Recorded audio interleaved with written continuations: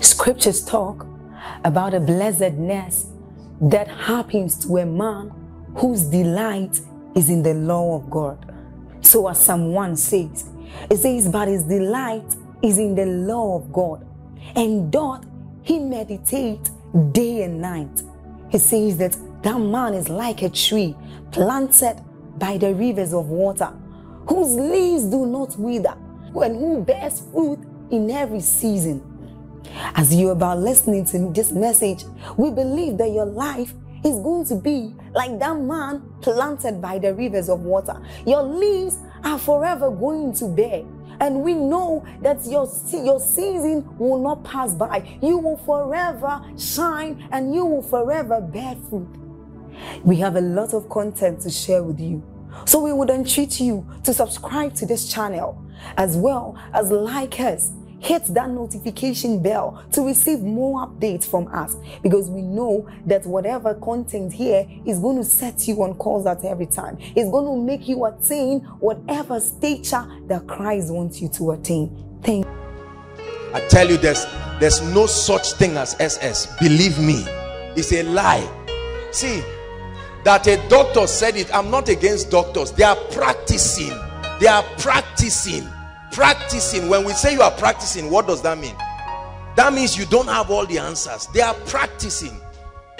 There's no such thing as ss if you are not whole there is a spirit making it so. If you sit down just saying i'm okay no. Machine called this ss you are watching it right before you. This is witchcraft. There's no such thing. I don't believe it we have doctors see doctors all around but i don't believe it.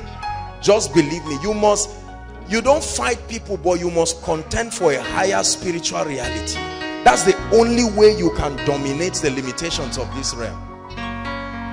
I say it again there is no such thing as ss and i minister right now i stretch my hands. Anyone here with any blood disease please pay attention to what i'm saying anyone here under the sound of my voice with any blood disease whether you are aware or not right now in the name of Jesus I arrest that spirit wherever it is. I'm not asking you to come out. Wherever you are in the name that is above all names I arrest that spirit wherever it is. There are at least three people with this blood disease. It's like a curse in your family. Wherever they are oh God in the name of Jesus Christ I arrest that spirit. We call it in medicine SS or AS or whatever it is but we are changing it right now. We are changing it right now by the influence of the Spirit of God inside and outside. Anyone who is a victim of that kind of thing let it be changed right now.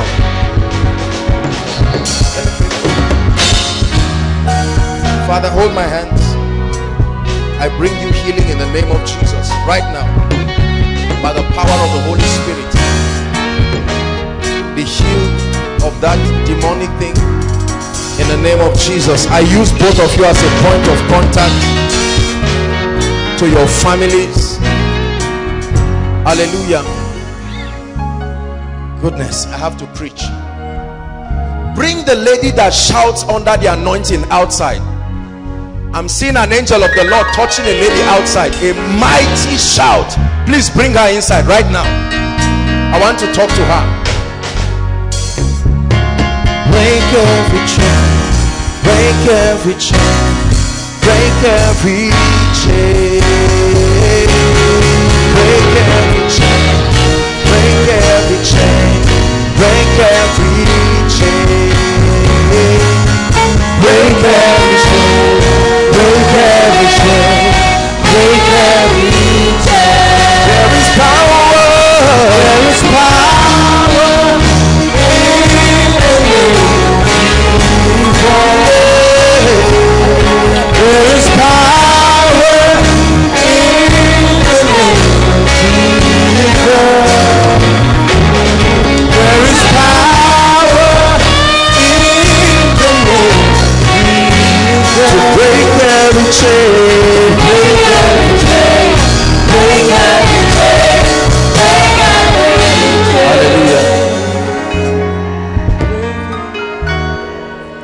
The Lord has been doing a great work in your life.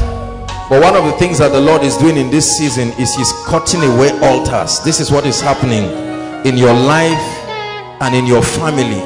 He's breaking them up. Your coming to Koinonia is causing a serious catastrophe in the gates of hell concerning your family.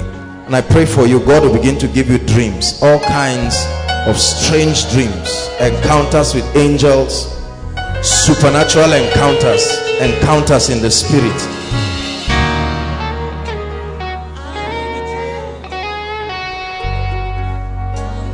I agree with you and I take authority over everything that does not name the name of Christ.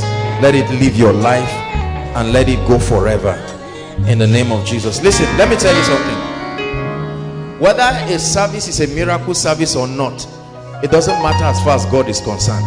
For as long as there is something in your life that stops you from enjoying the blessings of the kingdom, it must come under attack. Are we together now? We can't say wait until I know that I have a teaching session, but you see, let me tell you something. It is our desire that every time you come here, you have an encounter with God. Hallelujah. I'm seeing like a bird jumping out of people. This is strange. Just allow me do my madness for a few minutes. This is like a spirit leaving people from their stomach just flying out i'm seeing at least five people that this is happening to severely right now at least five people five people that this is happening to five people something just jumping out like a bird that's what i'm seeing in the spirit let it go let it go in the name that is above all names. Let it go right now. Like a bird is living causing pain and destruction. I command it to leave right now. In the name of Jesus Christ. For one that's what has been causing an infection. I see like an infection but it goes right now by the power of the Holy Spirit. It must leave your body forever break every chain hallelujah Please sit down. Let's get to the business of the night. This atmosphere is already stirred.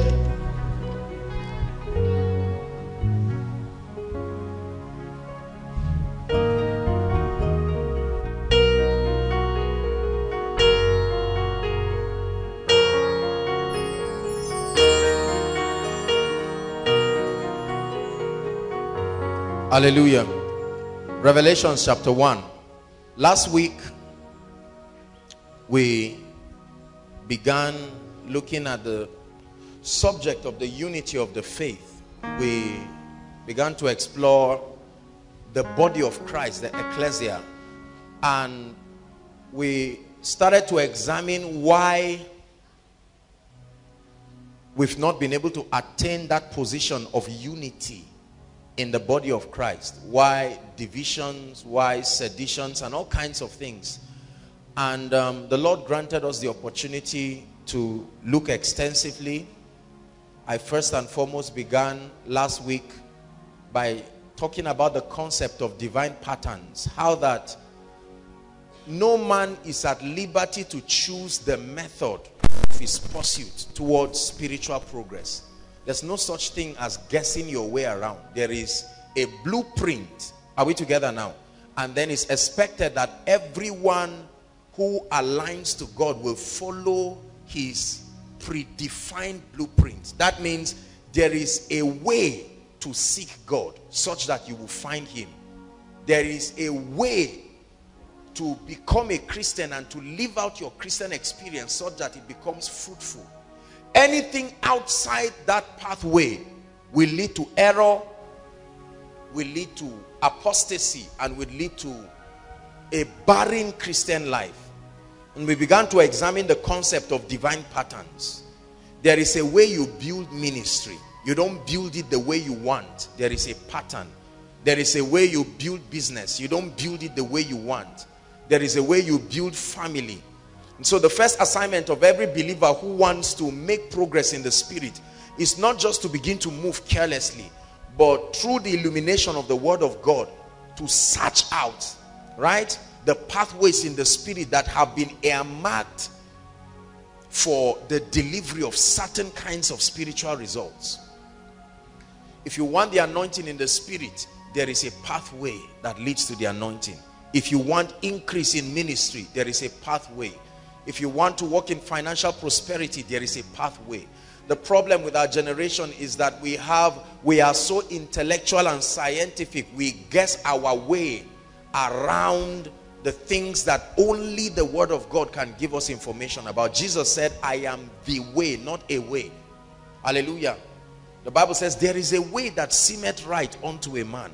Scientifically, intellectually, it says, but the end thereof are the ways of death.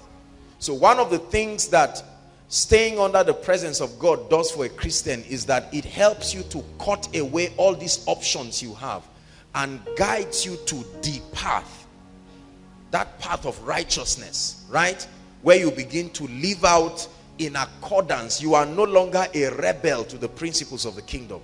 Then you come at peace with creation and everything begins to um, compel uncommon, consistent results in your life. Praise the Lord. So we spoke about divine patterns and um, we rounded off last week discussing three great errors. Remember? Three great errors that have crippled the body of Christ and um, has fought God's agenda of seeing the church coming to that point the Bible calls the unity of faith. Error number one is apostasy, a deviation from the patterns of God, a deviation from the truth. And I told you that there are two dimensions of apostasy the vessel communicating that apostasy, that deviation, that error can be false and of the devil, never of God in the first place. Or the individual can be of God, but his doctrine is not of God. Are we together now? The Bible talked about a man in the Bible called Demas. Demas was once in the faith, but he fell out of the faith and began to communicate things that were not of God. Balaam, the Bible warns in the book of Revelation of the doctrine of Balaam. Balaam was a true prophet, right? But then there was a progression. It was first an error of Balaam. Then it was a way of Balaam. Then it was a doctrine of Balaam. It started as a mistake. Then it became a pathway to guide others to follow. And then it became a doctrine. The Bible talks about the doctrine of the Nicolaitans, which I hate. All of these are fabrications from the pit of hell. Many of them uh, they were initiated by sincere people with sincere desires, but because they guessed their own pathway. See, the danger when sincerity mixes with error, it becomes apostasy. Because you have passion, but your pathway is wrong. Are we together?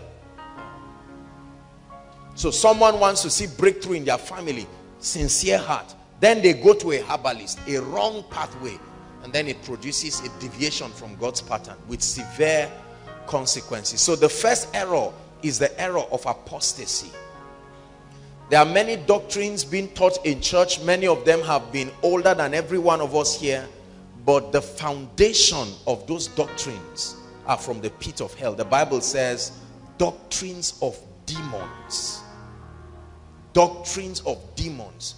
People have gone for prayer and fasting gone to several places and not navigating the pathway of the spirit properly they have accessed strange ideas from spirits that a thing is supernatural does not mean is of God supernatural just means outside of the three-dimensional realm there are spheres that influence us beyond the scope of the three-dimensional realm and chances are that anything you see that is superhuman you suddenly call it godly.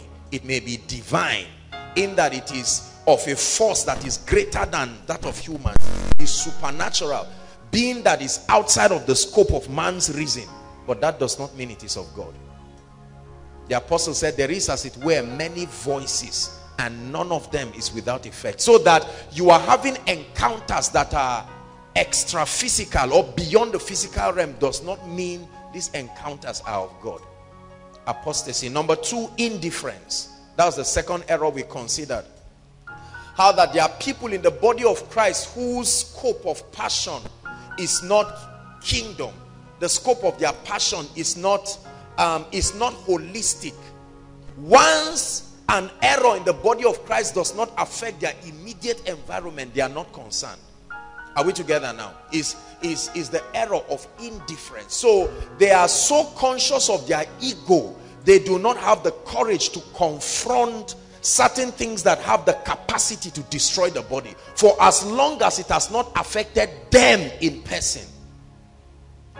They are the kinds who will give an a, testimony like praise the Lord.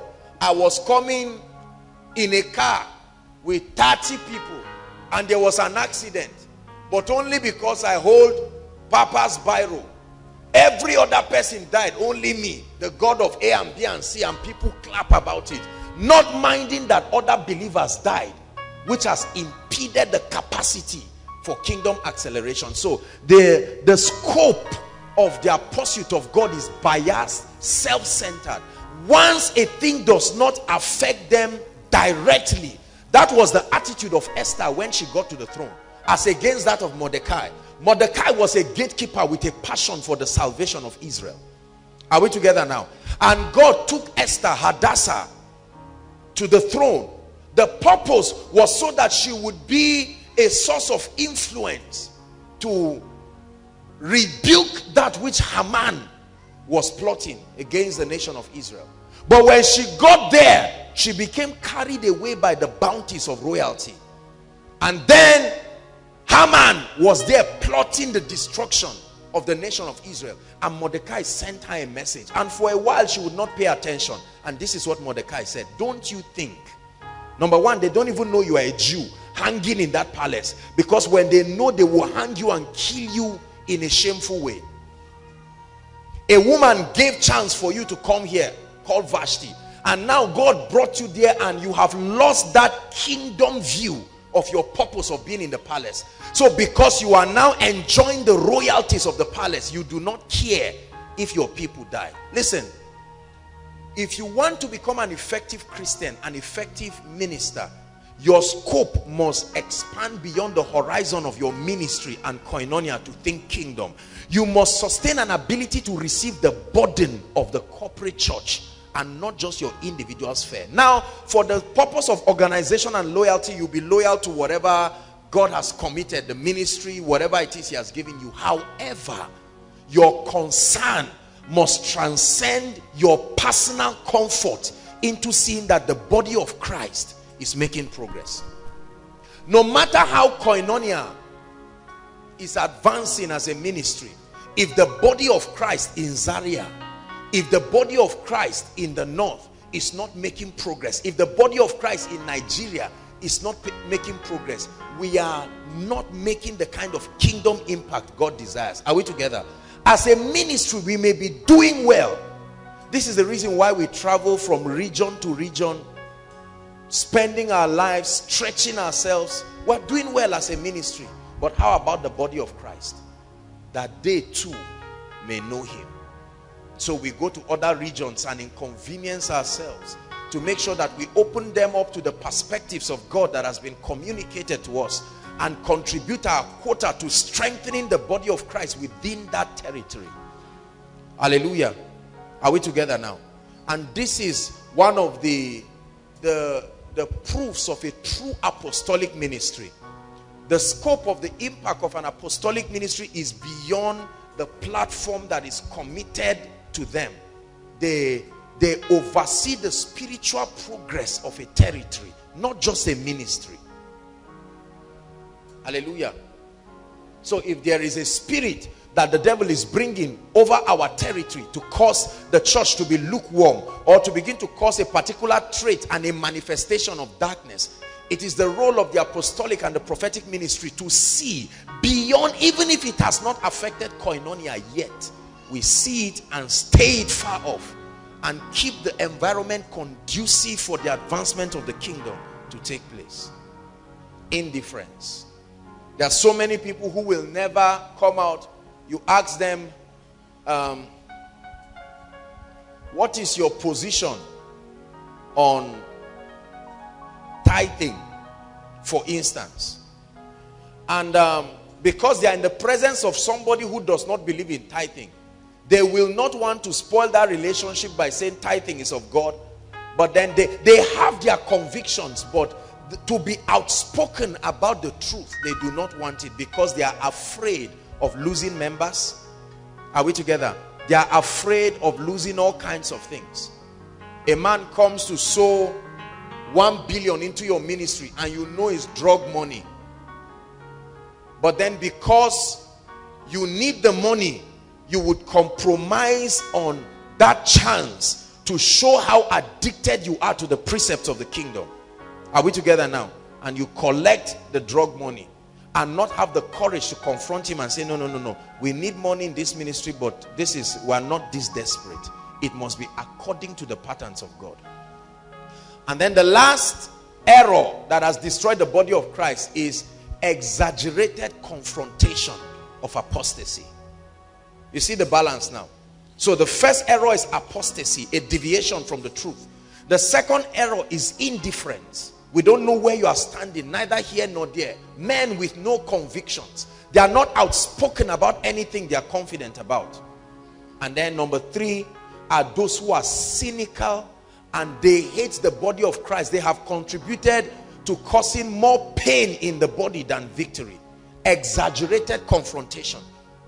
They are already people who are sadists. They have a negative perception about the body. Are we together now? And so anything that happens in the body, they interpret it from the lens of jealousy and envy. So even when they are communicating what is supposed to be true, the foundation upon which that communication is predicated upon is wrong, self-centered and biased. So for instance, if they are trying to say something like, um, we caught Mammon with a charm. As a man of God, we caught him in the meeting. I saw him rubbing one powder quickly. They take on that case study because they have a bias for the supernatural by default. Are we together now? It's just that they do not have enough fact and figures to convince people to leave the supernatural. So when they lay hold on something, they capitalize on that one exceptional case and it becomes the foundation of their proposing what is supposed to be a corrective measure but is a communication of error. Are we together? Someone can watch what just happened here now. This manifestation of the anointing and be uncomfortable with it. Are we together now?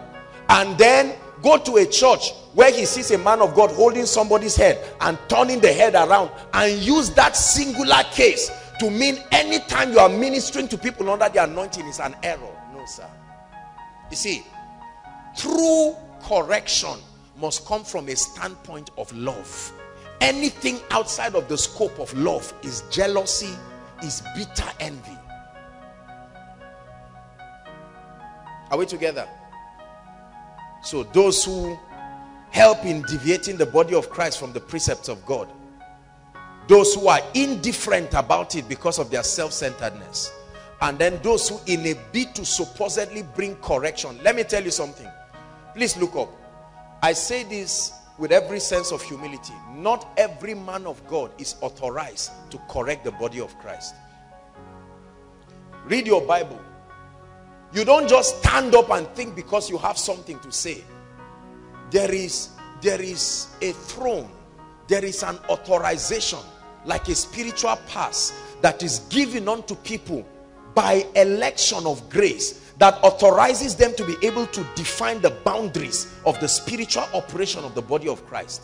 It's not just because you have a mic and you have people listening to you, you come and stand with all kinds of misguided perspectives and now begin to communicate truths that are limited by your own spiritual perception. Hallelujah. So let's take it from there. And um, we'll touch on a few things and pray. Hallelujah. Revelation chapter 1. Amen and amen and amen. Are you blessed? Verse 12. We'll read from 12 to 15. Revelation chapter 1, 12 to 15. There are a few thoughts, maybe about four of them I will share with you on the body of Christ. And then we will pray. Okay. And I turned to see the voice. This is John the beloved when he was caught in the Isle of Patmos. And I turned to see the voice that spake with me. And being turned, I saw what? Seven golden candlesticks or lampstands. Next verse. And in the midst of the seven candlesticks, one like unto the Son of Man, clothed with a garment down to the foot, and girded about the paps with a golden girdle. Let's just stop there, really. The remaining is just the description. Listen, where was the Son of Man found? In the midst of the seven lampstands.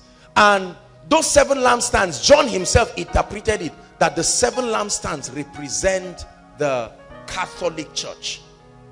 Not Roman Catholic. The word Catholic means the universal church, the ecclesia. Are we together now? God's body, the very body of Christ. This is a powerful revelation because regardless, please listen, regardless of the error and the confusion, and now I know that there's a lot of that, regardless of the scandals that break out here and there in church among men of God, regardless of the divinations and the mix of witchcraft and the prophetic, God is still in the church. When you want to find where God is on earth, the Bible says he was found in the midst of the seven candlesticks. You will never come to a point where you will not find God in the church. This is a revelation that will help you to tread spiritual pathways. Listen, in every assembly, I don't care whether the man is a herbalist or a devil, if there is one person who genuinely believes in the hand of God for the sake of that one person, God will find a way of manifesting himself in the church. Whether or not he is received. Are we together now? Please listen. Do not carry this idea that God is, is just in some places and not in some places. No, the Bible says in the midst of the seven lampstands, are we together? You must have this understanding about the body of Christ. So that when you go for a conference and you watch the people playing games and the people trying to get money out of people, as angry as you are, there is a consolation. He is still in the midst of the seven lampstands. So you take your eyes away from all the error and the jamborees and you pay attention. If you pay attention, you will find God. This is already a deliverance for someone. Because if you are looking for a perfect church, you will not find one. You will find a man of God who is worded but lousy.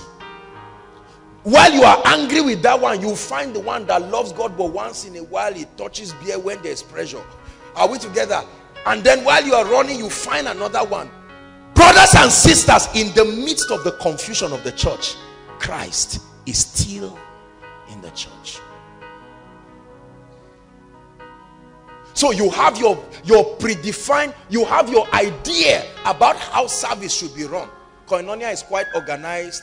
If during praise and worship you decide to just fly over here, the protocol will carry you and take you out. We're a bit organized, but there's a church you go to that somebody can even be dancing and come and jump, and the man of God will hold him and jump back, and you now roll and enjoy. You will go to that kind of church with your cynicism because you want everywhere to be like koinonia and then you do not have the flexibility to understand that God is not in the church because it is perfect God is in the church because he is the one perfecting it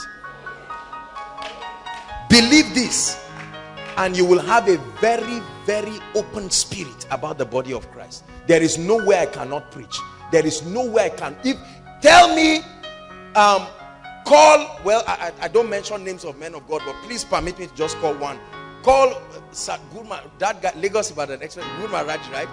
If Guru Maharaj Ji invites me for dinner, I will go. I won't do it in a secret. I will do it in the open. You will snap me and it will be on Facebook. I will go and eat with you. The person who caught the meat you bought from the market today is doing worse things than Guru Maharaj. What they did with that cow before you ate it, but just because you didn't see it, you now bought the meat, you didn't pray over it, you boiled the thing and ate it. Well, you see, this hypocrisy and lies in the church is why we don't find God. Listen, there is no man who is influenced outside of his will. Being in the presence of evil is not what corrupts people. opening up to the influence of evil is what corrupts a man. This is not a justification to be unruly with your spirit. But you must be conscious of what is within you above and beyond what is around you. Let me tell you Christ is in his body. Don't think one man's anger about what the church is doing so the, the argument that, oh, there are people who wear trousers and God is not in this church. There are people who veil their hairs and don't believe in wearing trousers. They are people of the law. God is not in this church. These ones are grace people. God is there. These ones are law people. God, these ones are Old Testament. Christ is everywhere. Trust me. Trust me. I've gone to too many places and I have wondered and marveled at the presence of God that came there. So when I go for a meeting, I expect imperfection from the vessels. So it doesn't surprise me. Are we together now? I went for a meeting one day and the man of God was preaching and they were clapping and he was carried away and he did something that, Kai, a Christian should not do. You know, women of God, once you are carried away, especially when you joke and people clap, it now you, you now digress and start saying things that don't make sense and he did something that was not nice. I said, well, God, this is your church. You are still in your holy temple. We fear you, but just have mercy on us. And my ears was open and I was blessed. I was blessed.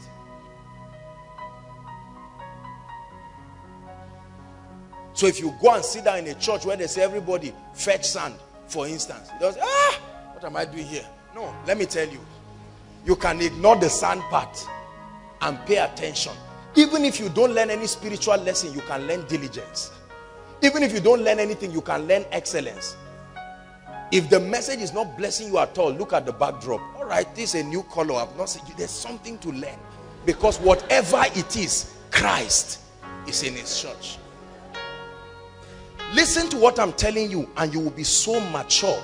You will marvel and wonder at your level of spiritual maturity. God's idea is not to make the whole world koinonia. That's, that's a dream if that's what you think we're doing well i'm not one of those men of god who believes that will convert the whole world to become our church. It's a dream that god will stop by himself because that's not his idea. I think kingdom. So regardless of my personal contribution i am also um, of the proposition that the church as a universal entity will make progress even if it is not my unique. So if somebody is healed whether the person was healed from MFM or living faith, it doesn't matter. The most important thing is an avenue has been created for the power of God to find expression. Are we together now? God is still in the midst of his church. Please listen. Brothers and sisters, God does not use us because we are perfect people. No. Self-perfection is, is exhausting and unnecessary.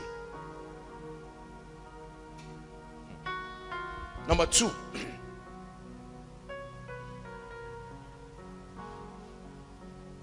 Matthew chapter 16 verse 8. There are certain things that I want to straighten out tonight about the body of Christ so that our approach over the body of Christ will be very balanced because many men of God do not have the courage to teach this because of their bias they run churches like their personal organization. Matthew 16 verse 18 is the second point that i want to communicate. It says and i say unto thee listen thou art peter and upon this rock i will build my church. Everybody say god will build his church. So who is the builder of the church? God never left the building of the church to Joshua Selman or any other person. He himself is the builder of the church. Imagine if God left the building of the church to me. I will first gather all the people who are my tribe. Is that not what we do? Are you my tribe? No, you are not part of this building. And we make it look like association of Christian members of, of northern. Uh, I will build my church. And if you allow me build it, the gate of hell that means if the gate of hell is prevailing over your church, you are building it. Because God said, I will build it in such a way that it will be so fortified that the gates of hell will not prevail. Please listen. I want you once and for all, especially for those who are pastors or those who are trusting God for ministry, bury this ownership mentality about ministry. This is why pastors fight. Do you fight what is not your own? If I want to touch a Jimmy's child now, it's his child. Are we together now? And so he will stand and defend it.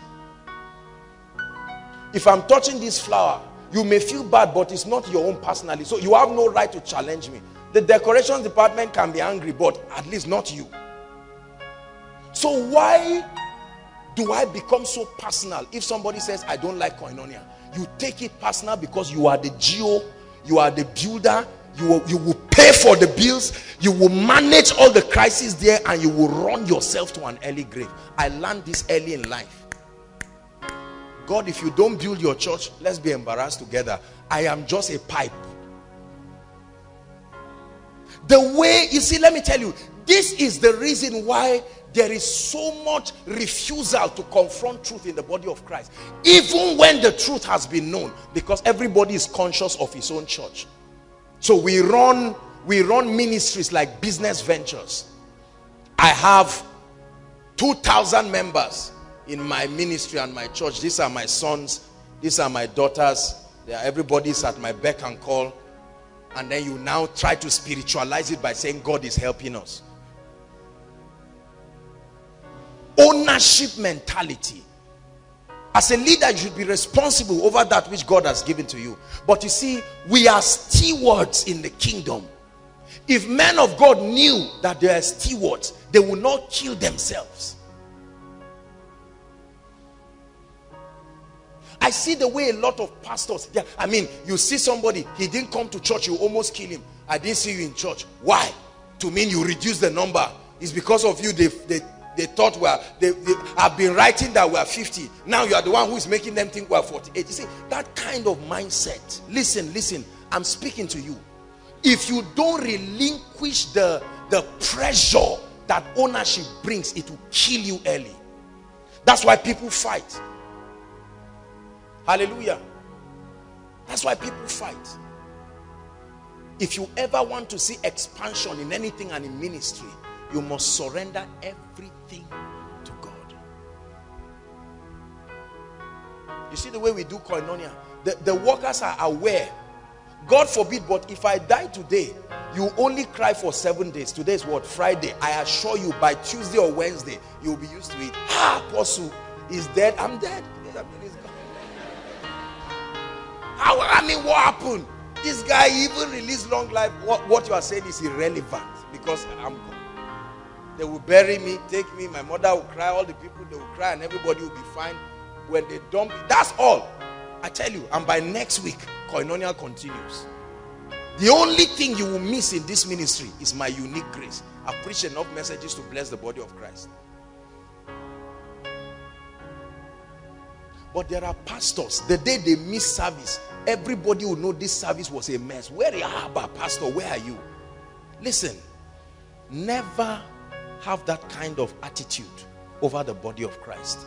The best of any member is only an effective member. No one person equals the church. The, the, the recognition of this is equal to wisdom. Are we together? I learned this early. And so I let him take the glory. He's the one building koinonia. And for as long as I allow him to keep building it, that's the reason why we do ministry pressure free. There's no frowning at everybody, frowning at the offering. Once they are dropping, you are now looking. You see five naira in the transparent side of the basket, you are angry. Five naira, how much is generator? How much is this? if you if you want to fund ministry by yourself and be responsible oh no no no no get set to kill yourself i'm too young i plan to live very long forget this story about death i told you i have the i have the confidence to say it because i plan to live long the mysteries of life that surround me are more than any devil bomb blast accident etc that's why i can talk about it i scare death to his face and go to bed because death is a spirit it's not one of those touch not no no no no no. Come on. Ask it.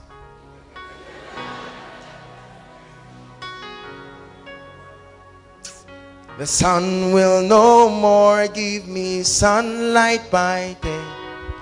The moon will no more give me moonlight by night.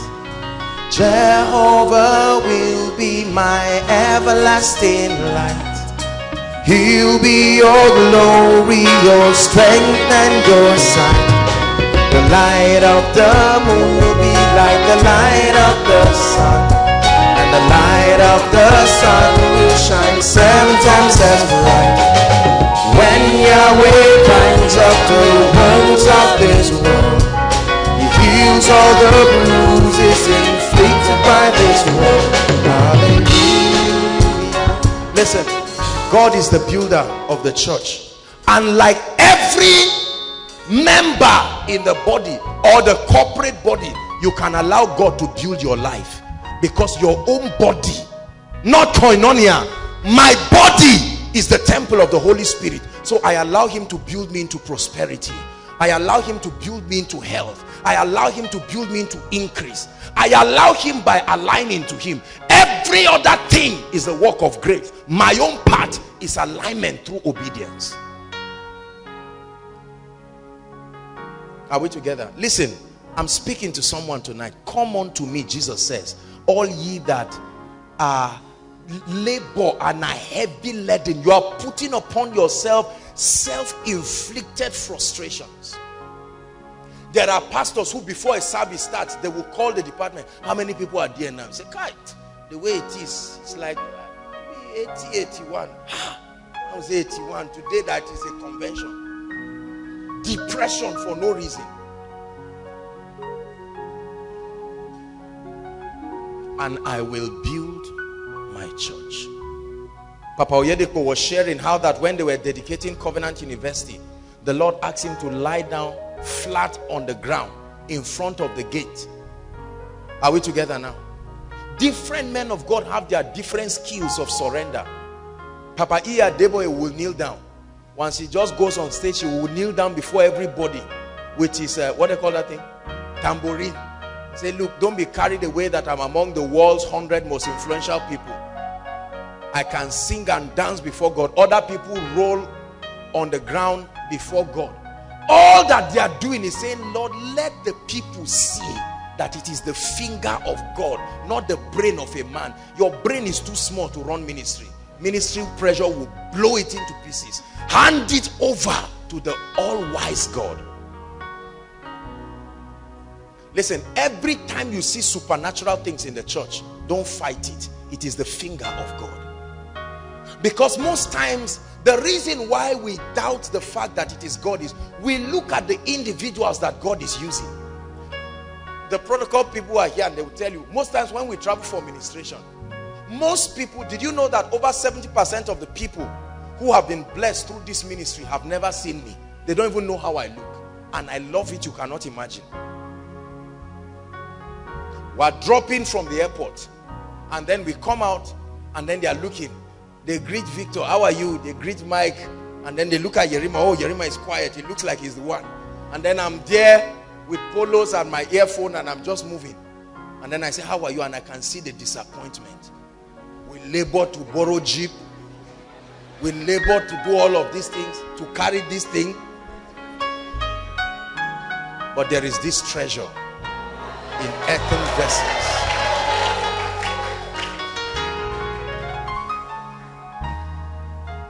Listen, when you know this, no matter how high any result you see is, you will not be afraid of it.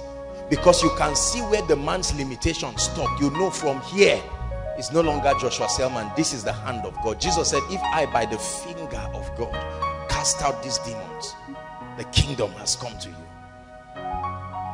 Same thing with honor. We're talking with, um, while the protocol person was driving me, Eddie was driving me coming. We're discussing with him in the car. And then I was telling him, I said, can you imagine how, uh, what was I even talking about? I was talking about honor. How people crave for honor in the body of Christ. Once somebody is entering, when I was coming, I saw the media people chasing me with camera, just snapping. And I said, this, these are the things that kill men of God. You snap your way into death. Unnecessary honor. Let me tell you something. I have found out by experience that honor is a mantle. If God has not given you, there is nothing that will bring it to your life. What someone did that brought honor, you would do it and they would trivialize it. But when that grace comes, no matter what you do, and Jabez was more honorable. Which service did he conduct? It was an anointing. Hallelujah. And I will build my church. I learned this principle of absolute surrender long ago in my life. And it's one of the foundational things. That's why when men of God stand and they are bragging, I this and that, my shoe is 50,000, this suit came from this. I say, Lord, I know how the suit came. It came through favor. Favor. I'm unashamed of the favor of God. Oh, you were smart. Fine. You qualified after 20 years of ministry to be sitting in this position. I was carried on the wings of grace. I know how I got there. And so I don't become foolish. He is the builder. And so I give him all the glory. I will not say, Lord, you are the builder. Then when it's time for shine, I say, God, this is my moment. Just allow me savour it. To you be all the glory. The reason why we don't give God glory in church is because we do not recognize that he is the builder. The leaders know. Everybody knows. I tell you that anybody climbs this pulpit one day to brag and make noise as though it's his strength I, I, I don't know what will happen to that person. Maybe thunder will just strike on his head and drop him dead there. Koinonia is a mystery held only by the hand of God. Only by the hand of God and not the wisdom of a man. He said, Rabbi, we know that thou art a man sent from God. He said, No man, for no man can do these things except God be with him. Is God with you? And are you allowing him to build your life? Are we together? Say after me, God is building the church. That's why, let me say something. Except for very, very, um, for few exemptions, the idea of people running away from their church because they feel it's not hot enough is not correctly kingdom because God is building his church. As lukewarm as that church is one day the fire of God will fall on one quiet youth who is around one at the back of one toilet praying for three hours every day. He will just pray and go back and say Lord this boredom in this church I am taking the burden. Every day he's just praying in tongues three hours one day he will have an encounter that's what happened to Apostle Babalola right quietly he went to tap uh, um, I don't know if it was palm wine or something I, I can't remember the story now and the fire of God fell upon him. He saw a whirlwind like that of Moses and a voice spoke from it. He had an encounter. And then there were already a group of prophets who refused to endorse him in the ministry. And one day they were watching him from the window during a prayer session. And the guy healed a madman. In their presence. And the Lord told them, this guy is one of the people to carry that apostolic grace. That was the only condition that they received him and extended a hand of fellowship for him. Brothers and sisters please let god build your life. All this bragging i'm beautiful that's why it's working. You will see the limitation of beauty when it is only beauty building your life. I'm rich that's why. I i, I got first class that's why remember last was it last month or month before last when we prayed for a first class student here who was jobless how do you explain that please make up your mind for the body of Christ and for yourself that from today you will never be embarrassed to directly acknowledge God in all your ways. I'm sharing with you a principle that will bless you. In all your ways, acknowledge Him. Right? Proverbs chapter 3, when you read from verse 5 to 6 to 7, really, that's verse 6. In all your ways, acknowledge Him, and there is a promise He will direct, make straight your path my ministry, my business, my intelligence. Many guys are around me. Even them, they know that I'm fine. Continue. Instead of you to use the opportunity and say, Lord, thank you. There are many ladies, nobody will even say good morning to. See, let me tell you, Men can deceive you, but when you deceive yourself, you are really in deception. Everybody here, we know where God brought us from. Everybody knows. I know where God brought me from. So I'm not going to allow all of the blessings from ministry get me carried away. Some of us will not acknowledge it by ourselves. But if others try to do it in a way you know is destructive, you will enjoy it. It's like saying, I won't buy beer with my own money. But if Sam buys for me, I won't mind. You are still a drunkard. Because a drunkard is not the one who buys beer by himself, is the one who drinks it. Whether it was given as a gift or bought with your money. An arrogant person, right? A boastful person, the one that will face destruction from God is the one who always looks for an opportunity for vain glory. I'm not saying don't honor people. Don't acknowledge people. I know you love me you respect me you honor me i love you and i honor you too. However there is a limit and it is the responsibility of everybody to draw the line. There are things people do for me i say no no this is too much. And i will build my church. If you allow me build it the gates of hell will say amen Number three, is God blessing us? Please pray in one minute before we continue and say, Lord, build my life. I've been trying to do this thing in my own strength. Please pray. Trying to enter a relationship by your own strength. You tried makeup, it didn't work. You tried with on, it didn't work. You tried buying designers, it didn't work because it doesn't work by all those things. It takes the mercy of God. Open your mouth and pray. I've tried it by my strength. I've tried succeeding. I've stretched my intellect from border to border. Tonight, I give it up. I give it up. Please pray. In all your ways, acknowledge him. Lord, if you do not help me, nobody can help me. If you don't take me from where I am to the place of destiny, there is no possibility outside of you.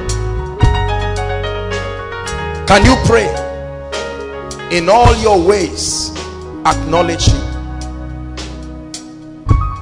Hallelujah. Please listen. Let it be a culture in your life. Every time men begin to clap become an usher. Point them to jesus. Hallelujah. And i if i be lifted up from the earth i will draw all men never see me say, I did this. The power of my might. Ah, I did this.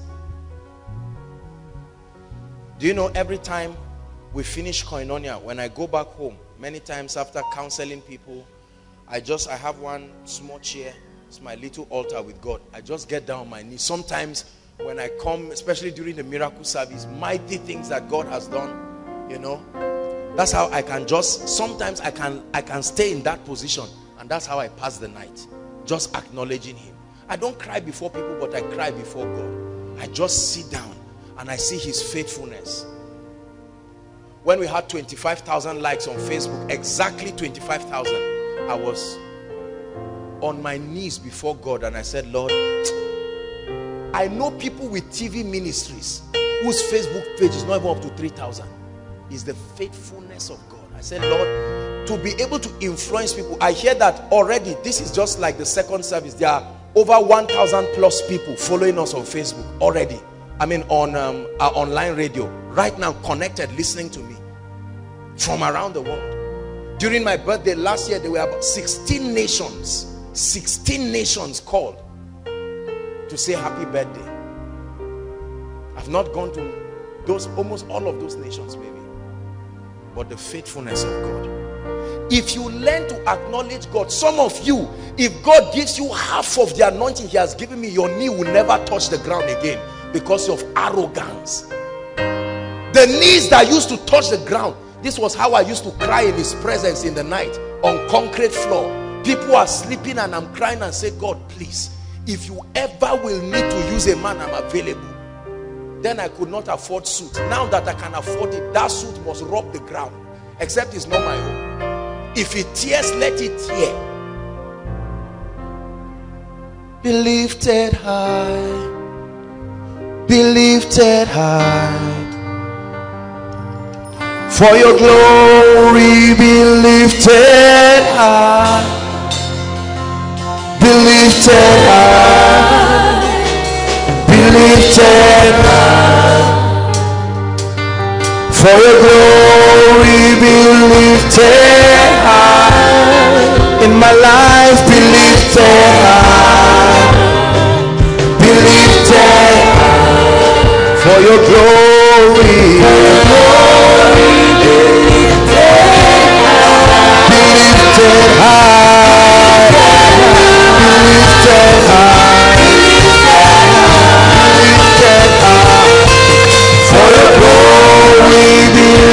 Lifted. Two more times.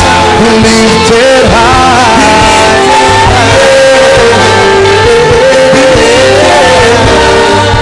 For your glory. For your glory be lifted high. Be lifted high.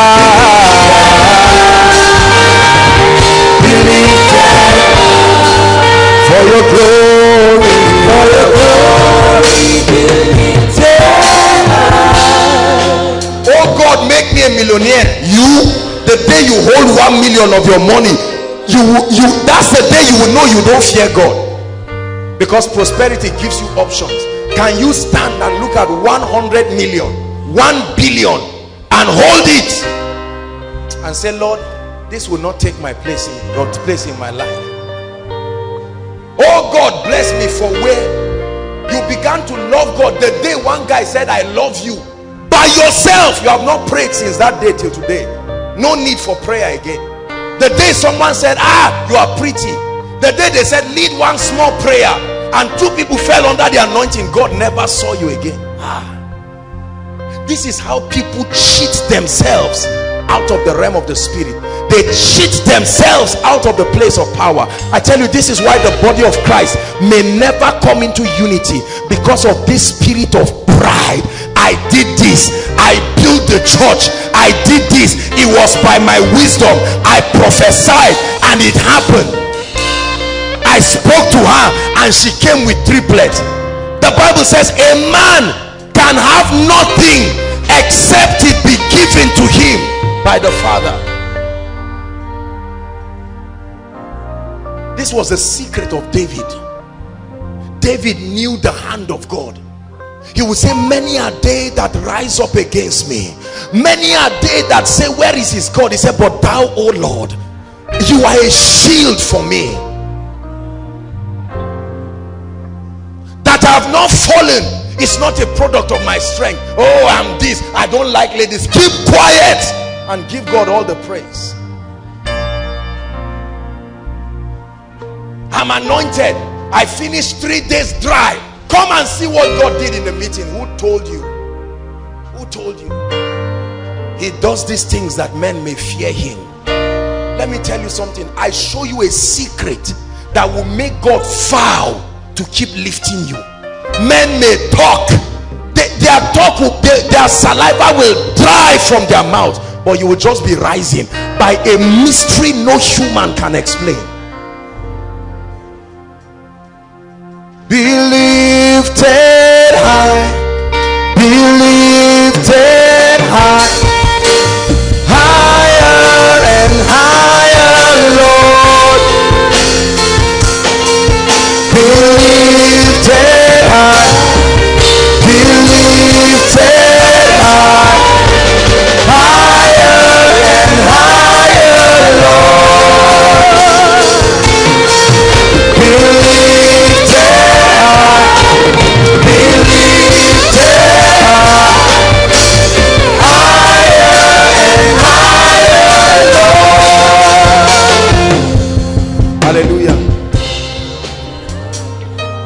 this is already a message to somebody. This may be the missing key behind your glory that just faded. From last year you found out that it was like Ichabod. There are people like that. I watch preachers on TV and without a sense of cynicism I see the fading of the glory. People are still celebrating but those who are in the spirit know there is nothing new in this grace. It's dried. Money is still coming but it's dried I tell you I've had ministers that I respect so much. I've had ministers that I acknowledge the dealings of God in their life. Speak in recent times and I was shocked. How can a man touch a level of spiritual reality and not have anything else to tell the body? There are people who have been edged out of the program of God because of this pride. There are musicians who have left the scene of Nigerian gospel music never to come back again. Because right now, if you don't give them 1.5, they will not come. You have to talk to multiple PAs. They've forgotten that it was one song they didn't even write.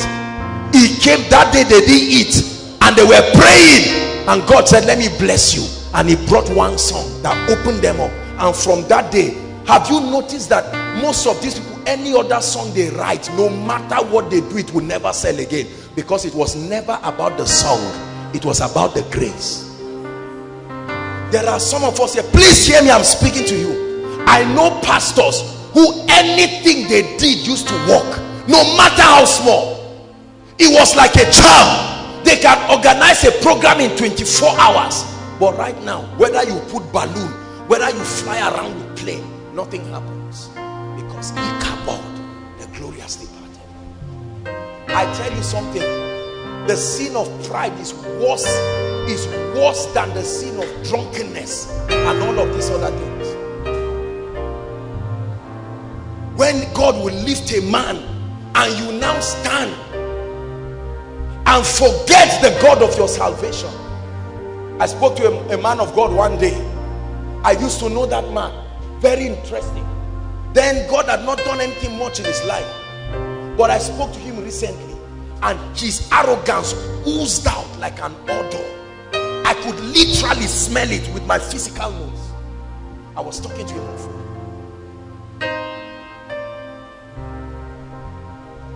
There are pastors who until you now have a seed, they forgot how God took them. You want to see Joshua Selman stand here with your 50,000 or your 100,000 not that God led you to honor not that they challenged you in church to sow. They now stand. As you are dropping it in the basket then you see the man of God. Ah, quarter for me to do that. May God take my life. For what? Be lifted high. Be lifted high for your glory be lifted high be lifted be lifted for your glory be lifted Hallelujah. Please sit down. We have to hurry up. I already sense the presence of God. Let's hurry up. Number three, the third thing that we need to understand. Listen, for the body of Christ to attain the unity of faith, is to separate between doctrines and personal dealings with the spirit. Please listen. What i'm telling you tonight is very deep. Pay attention. There is a difference listen between your personal path of spiritual progress as earmarked by god on the strength of what he's making you become are we together now? We all start our journey into the things of the spirit together. But as we proceed the election of grace diverges men into different trajectories in the spirit. Are we together now? And so if both of us start together and you are called into the prophetic ministry i'm called into the apostolic ministry you are called into business somewhere along the line there will be a divergence the same way students start course science whether engineering medicine you do the same thing. Are we together? As you progress what happens? You now begin to move to different programs that are custom built to produce that thought that knowledge in you. Now the trouble is this. Most people especially preachers have not been able to draw the line between their personal dealings with God and some of the ordinances and the covenants that they are compelled to make to strengthen their personal work with God so that they can be effective in dispensing the dimension of God committed to them. They they do not draw that line. And everything their personal dealing in the spirit they ship it to the altar and teach it as a doctrine. Are we together now? Listen Paul said all things are lawful but not all things are expedient. Are we together now? Did you know that God can come, my dear? God can look at this lady and in his personal dealing with her, because she's on her way to become the wife of a man of God and a man of influence. Are we together now? God can tell her, my personal dealing with you, you are not going to wear trousers. Are we together now? That is not about wrong or right. You are occupying a position where you will be a mother to many. And I need you to be as modest as possible so that you can give the clearest picture of a virtuous woman. That is a personalized dealing. But by the time you now ship your personal experience and use it as a template to define virtue, you bring error in the body of Christ. Are we together now? There are personal things God can give a man. Are we together now? Stringent rules that God has given people. It has nothing to do with old and new covenant. It is your personal work with God. God can be so meticulous as to define for you the kind of clothes to wear because of an assignment. God can be so meticulous to define to you the kind of the number of children to have. God can say because of the enormity of this assignment, you cannot have more than two children. If you like, have eight. But my recommendation for efficiency is two. It's left for you to sacrifice your personal ambition of wanting 10 children to say, Lord, for your glory. If you are lonely after two, you buy a puppy. But anything outside that, you position yourself. Are we together? God can say, because of where I'm lifting you, you cannot have three cars at any given point. People who sow 20 cars, find the best three and give the rest out. And people, they don't know these are ordinances that control power in the spirit. It's not something, there are things that God has given me, like personal rules. It's in the Bible. Samson was given a code they said, Samson, the secret of your anointing is tied to your hair. You are a Nazarene, separate unto God. Let no razor touch your head. You can shave, but not barb. And Delilah came. He tried to do every kind of thing, and she went to his hair, barbed the hair, and barbed the glory away from his life until he died. Are we together now? Listen, most when I see the way many ministers are careless, I'm surprised because you see, increase in ministry can make you forget the precepts and the ordinances of God that were given to you. There are agreements that I had with God. I've done all kinds of crazy things. There was a time the Lord gave me an instruction. I put 100, like one 1,000, like 100,000 on the ground and the Lord said I should pray as I'm matching it. That's why I kept matching it. I was praying in tongues for hours, declaring that finances will never have dominion over me. Will I tell you to do it? It is a personalized dealing. Are we together now? Please listen. This is giving us maturity. Separate between the ordinances of God given to you in the secret place for the purpose of efficiency and doctrines that are established by the integrity of the word. They may not be wrong. But God gave you that because of the capacity he has also given you. Somebody like Papa Adeboye, his covenant with God was that every time Somebody before like worship God, Papa he would go down Adeboye, on his knees. His Are we together now? Whether in London, before Obama, like before anybody, he would do this. Are we together? Are we together now? Whether in London there are people, because of their covenant with God, they will never own more than two personal houses. They will make many rich, but they themselves are limited. For many years, many years, I wanted to buy a car. God stopped me. I don't know how many times. There are times I've smiled thinking I just went to God. Oh God, I like this. No way. Will I stop you from buying a car? If you want to follow my own path, for you, God didn't direct you. And it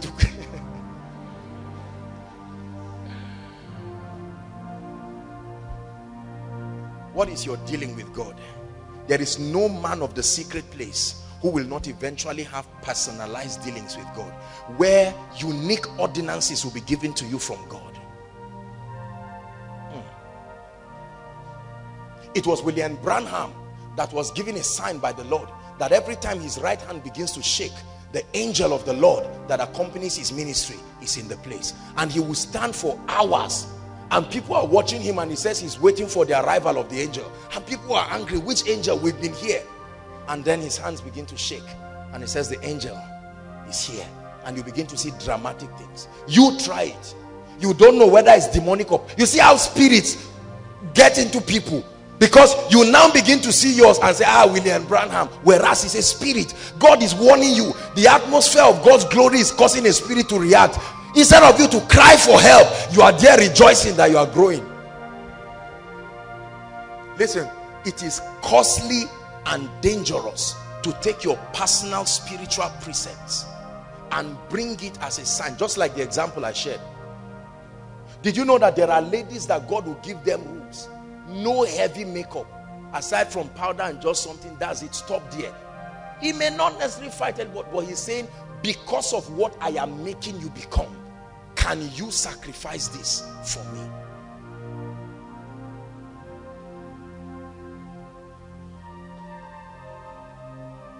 Are we together? Listen if you love the lord there is nothing he will make as a demand from you that will be too much to give him. Hallelujah. It is lack of this separation between personal dealings. I've done all kinds of crazy things with God, but I cannot bring it as a doctrine. I, I stopped sharing my experiences. The only experience that most people have had is my encounter with Jesus. There are many more, but I will not share it because these are personal dealings. And if you are not careful, when you begin to share it, it will make people to deviate from having confidence in the knowing the word to begin to search for encounters. And when the devil sees your appetite for sight in the spirit is the exact raw material he needs to deceive you. One day you will see something that will not be of god. Hallelujah.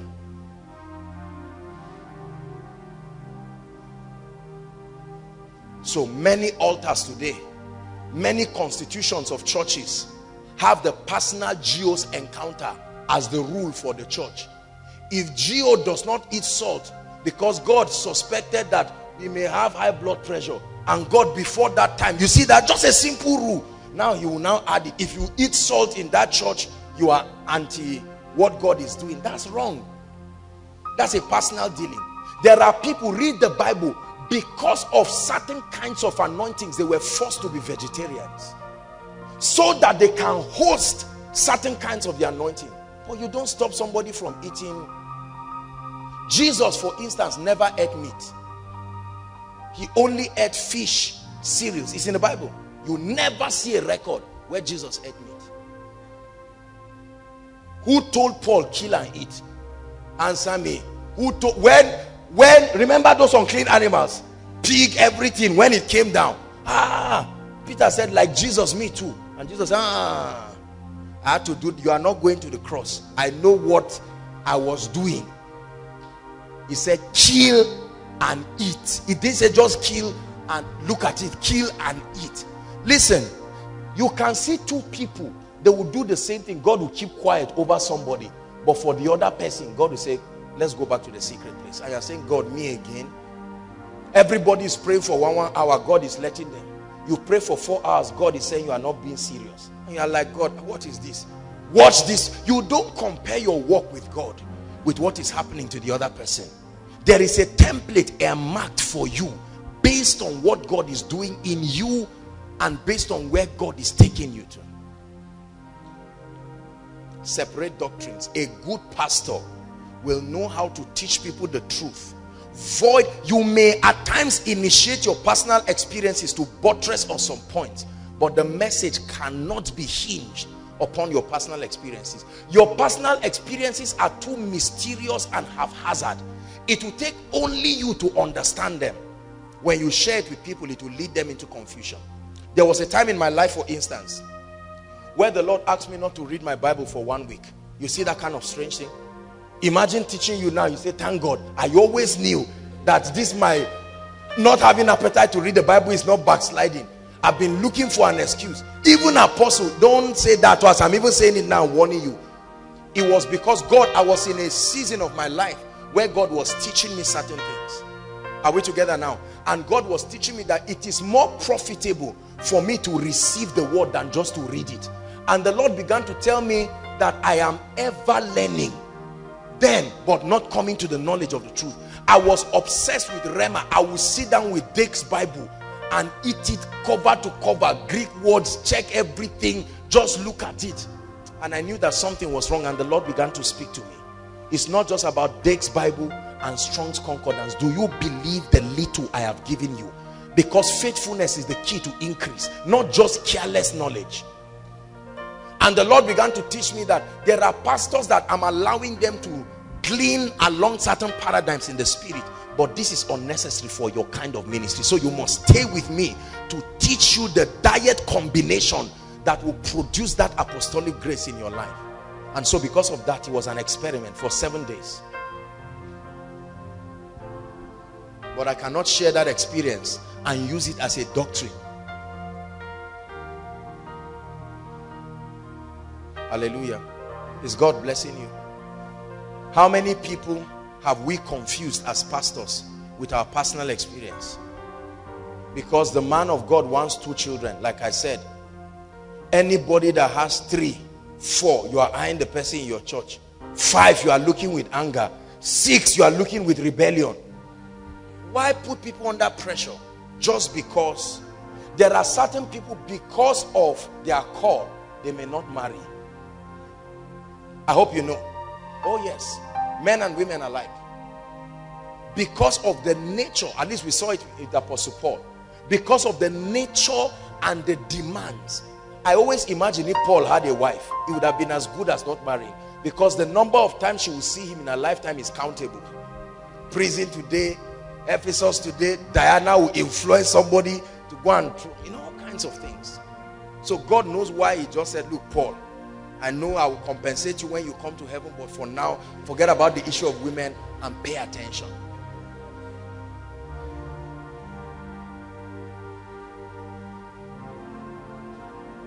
So if you are not married, does that mean you pressure people? And every time somebody say I want to get married you there are people like that. Any area that is not a major area of dealing in the spirit they don't pay attention to people when they are having those issues. They don't deal with them in that area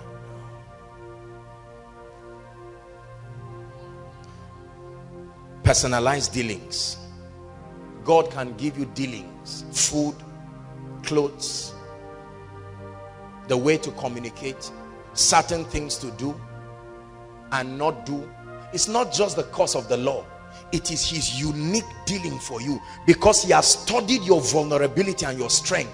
And he has seen that it's only in this kind of atmosphere like a buffer he creates for you so that you are safe and if you walk within the jurisdiction of his description i'm telling you you will never fall. Praise the lord. Let's take the last point and then we'll pray. Is god blessing us today? Hmm. romans chapter 12 from verse 3 we'll read the a part and establish the last point and then we'll pray. Thank you jesus. Romans 12 verse 3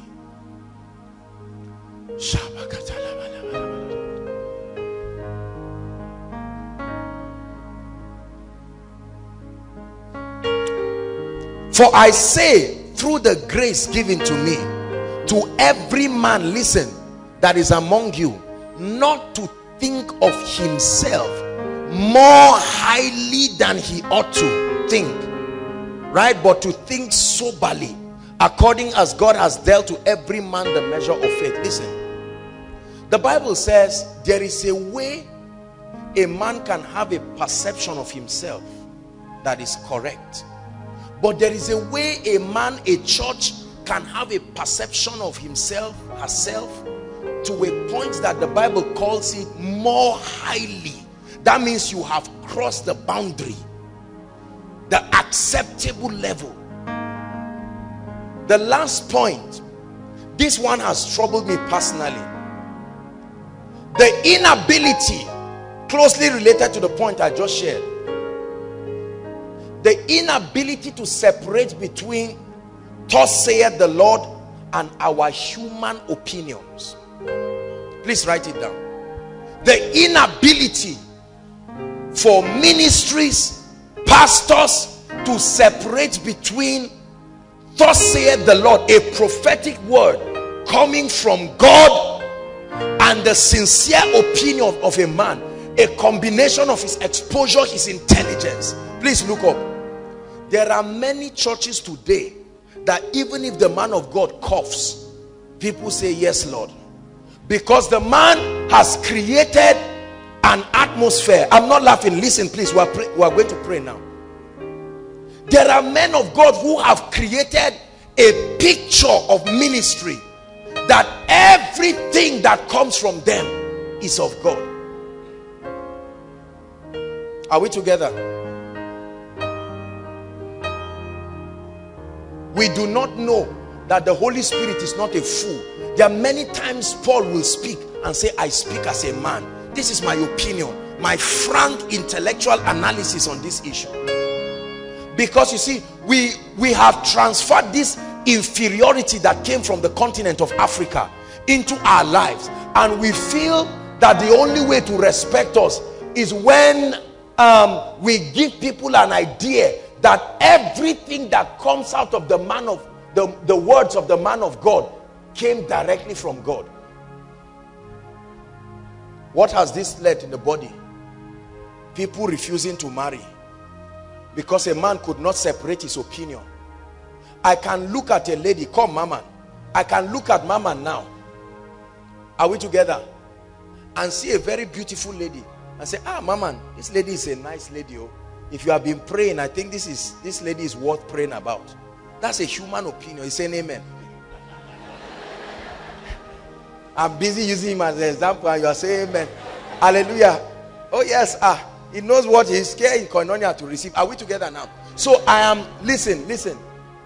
I'm telling him sincerely, oh, look at this lady. We have all watched her in koinonia. She loves God. She's a serious lady.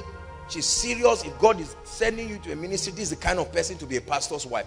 Not by any vision, by intelligence and sight and logical conclusion based on the principles of the word of God. You know a bad woman when you see, you don't need a dream. You see all the attributes.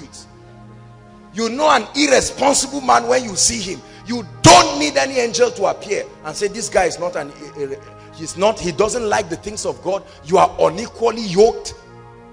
What you love is what he hates. The more you are growing, the more he's angry with your spiritual growth. Is that a good man? What prayer do you need about it?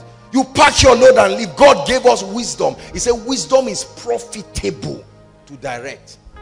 So, back to my example. I can now tell Mama, but if because of my arrogance, I now say, Mama, that's your wife. Wife. That's that's your that's your husband. Are we together now? Let me tell you what I've done to both of them. I have tied them in an unholy, I have put a stronghold upon their minds. Are we together now? Whereas this guy may be looking at another lady, his heart is somewhere. He has even started the process, laying the foundation and all of this. And now I'm coming to scatter the whole building because of a supposed vision.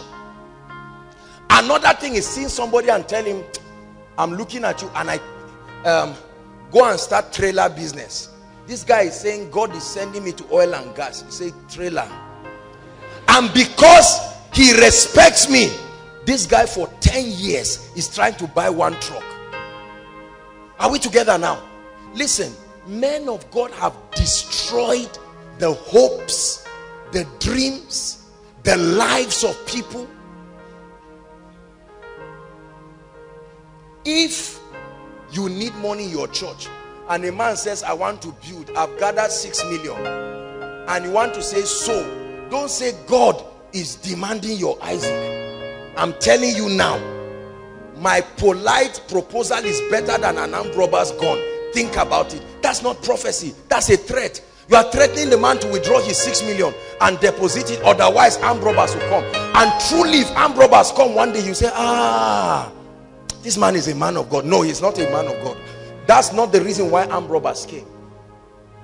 Listen. Every pastor and man of God here, listen. We owe God accountability. You know, years ago, I didn't used to know the, if, the effect of my words on people. I used to think when I just speak to people carelessly, it won't mean anything to them. But as I kept growing in leadership, I got to learn that the words of a leader is like the words of a father. It makes impact. You can look at a lady right now and say, I'm proud of you. Just that little step to you is no big deal. But that will be the basis of our seriousness in the spirit. Ah, ah. Joshua Selman said he's proud of me. Ah, out of everybody in Koinonia. Because to you it's no big deal because you are used to being celebrated. To someone who has never received a comment from somebody. The same way you look at somebody and say you're a bad girl, you were joking, and the lady is crying for one week. Oh God, I repent. Wrong words. We have not separated, thus saith the Lord, from our sincere human opinion. There are times people have met me over issues and I've told them honestly, God has not told me anything about this issue. However, let's look at it from the Bible. Okay, this is what you are doing. No, the Bible prohibits this try this take it this way and then sometimes in the midst of it God will speak expressly and I'll say this is the word of the Lord to you and when I think what I said was of God if I later discover that at my level of growth or for whatever reason I didn't hear well I will not have the embarrassment to say sorry I think we should pray about this thing again that day I thought it was God that said you should buy a bicycle but right now, I found out that God has no business with you buying any bicycle. Let's pray. Do you have the courage, brothers and sisters, to separate between the word of God spoken to you to people or to yourself and your sincere human opinion? Please sit down. The body of Christ has been destroyed because of this. A man makes a mistake. Simply acknowledge it was a mistake. You say, are you joking? Even my mistakes are... no, no, no, no, no, no no.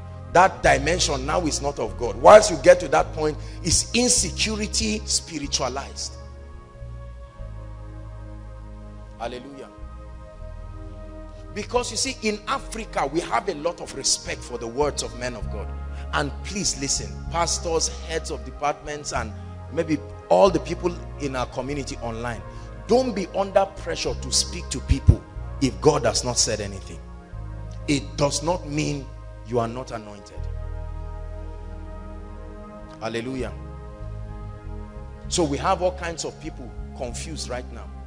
How many people have made mistakes in their marriage because he was a man of God that said so? You must marry so, so, so, and so person. Now he married the lady and he doesn't know what to do with her. And they are all angry and they are confused. And the man of God is there. I know men of God who have looked at people and say, relocate you shouldn't be doing anything in Nigeria. And sincerely, he just perceived in his spirit that this guy should be abroad. He now said, go to Kenya. The guy is living like a, a fugitive in Kenya. Whereas he was living with authority. He sold his house, sold everything and left. Could it be that there are people seated here right now and is the supposed word from a man of God that has kept you limited? you wanted to do business and the man said you don't have any any business doing any business right and now you've sat down because you thought that oh my own is just ministry that is coming. And you are getting poor you are getting broke. The day you went to go and meet uh, maybe the lady's parents for introduction they say what are you doing? You say according to what my pastor told me. He said i should not worry. It will be like the twinkling of an eye. And the father looks at you and he says, you have the courage to come and enter my gate. The next time you come, I will call police and they will catch you. And you go back disappointed. Oh God, did you not speak to me? I refuse to be a fool. I refuse to let the pursuit of God look like stupidity. Whenever there is no direct word from the Lord, I work with the principles of the word. How many men of God were doing well in ministry until a prophet or an apostle somewhere in a meeting prophesied to them? I know pastors who have no business having churches. They are not supposed to open churches. But they went and met a man of God. Now the man may not be wrong, but he spoke a word. He said, I'm looking at you and I see 17 branches. God is giving you speed. The guy started dying. The money that God allocated for the program, he now started spreading 17 branches around. And now he's killing him. Weekly budget, 2.5 whereas his annual money that he's receiving from the small members is 500,000 where is he going to get the other money from? So he starts lying. He starts creating a prophecy session. Drop your 30,000 I speak to you. That's what has led men of God into all of these things because of pressure separate between the word of the Lord directly see and a sincere communication of the truths of the kingdom there are times I prepare a message. Not that God told me necessarily. I sat down as a leader. I understand how to build people. I know that if you have a ministry with people, you must build them in the area of spiritual growth, build them in character, build them in finances, family life, leadership, interpersonal skills. These are things that are, we, we are human beings. God does not need to tell me that the wisdom of the word has taught me that you must build people holistically. There are times I come on stage here and God completely from everything I've planned. That does not mean he did not give the inspiration. But at this current time, this is what he wants to be said. And I'm unashamed. I drop it. There are times I come here and I tell you, this is what the Lord spoke to me. This word came from God. This is what he wants us to do. It is not unspiritual to acknowledge your humanity. Listen to my message, why revivals die. The humanity of men. People have sent me names. Dayo, uh, Shegun, who and who they say apostle. Who do you think among these three guys? I said, no, no, no, no, no, no, no. God has not told me anything. I don't even want to start deceiving you. But there are some of us here, especially some of us who are just starting in ministry. You are under pressure when you get that kind of text, you just laugh and do tinini tanana, and then it just lands on Dio and you send back, say, Dio, I hear Dio. And now the lady, and maybe Dio is not even born again. You now pin this lady with this, this unspiritual brother for many years, and she cannot move forward.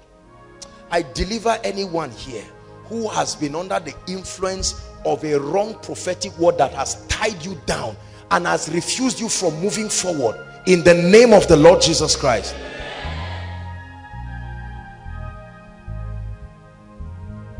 A man of God who is limited in scope sees somebody who wants to do international business and he says no this is not of God. He's using his limitation about his poor understanding on financial intelligence and destroying the passion of another person to expand. You don't do that. And then the worst part is when we start saying it's from God. So right now brothers let me just buttress on this point. Brothers cannot come and meet a lady. You can't come and meet a sincere lady and just tell her oh you love God. You have to start saying look it was by 241 between 241 or 242 uh, sorry I was dragging you a bit around 241 or 242 I was just strolling around somewhere and I saw what looked like a vision. I said, Lord, is this you? And he was silent. Now, the lady is standing and wondering, what's this guy saying now? Of course, she knows where you are going to. And he says, look, on a very good day, me, I, am just minding my business, but how can I be negligent of this heavenly call now that I've seen this call? And now the lady wants to say no, but she has been threatened by what? A vision. God said, you are my wife. I'm not saying Go and think about it. What is the answer? The lady said, Well, it's too early. I don't know you. Is this what are saying? Me too. Do I know the vision? I, I saw it. I, ah.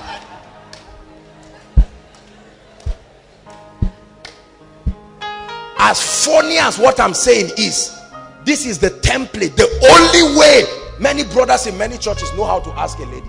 They just come and say, What did, are you still wasting my time? Or I plan to marry based on what God told me. He showed me July. Are you doing this thing or not? Let's just know. And it keeps backfiring again and again and again because you see the laws of the spirit are unemotional this again is also the reason why people are confused. And uh, let me just touch on this and then we'll pray. Today you go to bed and you see amaka. Bless you darling. Tomorrow as soon as you wake up you see shalhoma. You are washing your face and you saw her face. I say i reject it. You saw it again. Are we together now? Next week you now see Martha. And then the individual is he sincere? Yes is she sincere? Yes. But because you have tied your your paradigm are we together now? To only visions you are confused. You saw seven sisters in one week. You are not a bad brother but you are seriously confused. You can see me come matter. You can see me wearing suit and matter dressed like this. It can mean intimacy not marriage you have to go back to God to find out what he's saying. That you saw what looked like suits does not mean it's marriage. A ring can be a symbol of authority not a vow to say I do. You see you you you, you come down and then be careful some of these books. Please um, um, it's my job and my duty to address these things. Although that's really not what i'm talking about but since it has come let's just let it land there are books many of us have read written by sincere people who have been confused that's why a man can be married and now be looking at a lady and then another prophet to come and say well i don't know how to tell you this thing but this lady you have married although you are 10 years in marriage she's the reason why your ministry is not moving forward I stand as a prophet of God to declare to you. Is there a lady called Jane in Koinonia? He yes, yes, ma'am. I said, leave your wife, go to Jane. Now, the man will not leave her in one day. But automatically, he was not eating her food again. And then he now calls Jane, Jane, Jane, how now? How was service today? Then he say, fine, daddy. He say, why must you call me daddy? It has, it has started. I will talk. Oh, my name is Joshua Selman. And the wife is surprised. He's praying. He has suddenly developed an unusual passion for prayer in the night. And you go to the parlor and you see he's, he's secretly calling Jane. What does it take to do your wedding sharp sharp? And he's planning on leaving his wife because somebody said, Thus saith the Lord and in the church we are so unspiritual that anybody just stands and because he tells you something that is true then he now uses it to confuse you please listen to me anyone here who has left his financial pursuit because a man of God spoke to you and said you don't need it go back and carry those notebooks and start reading it otherwise you would you would chew your hands in the future to come. The Bible says a lazy man will not eat. It has nothing to do with, with vision. Are we together now? If you graduate and you want to become a millionaire, from you've nothing is coming in your hands now. Get a job and start from there. Do you need a vision? There are two ways God directs men. He can say start and he can say stop. So if he doesn't say anything, start. I need to address this. Thus saith the Lord has destroyed a lot of So we have gotten into all kinds of things. Thank you, my dear. I went to pray for a woman some years ago. God is my witness. I saw over 21 anointing oils. And these 21 anointing oils was from different men of God and different prophets. 21. None of them was free. By the way, not one was free. She went to one woman, one prophetess. I, was told that if you go to the woman's place, now I'm not criticizing. Maybe the woman is listening to the message.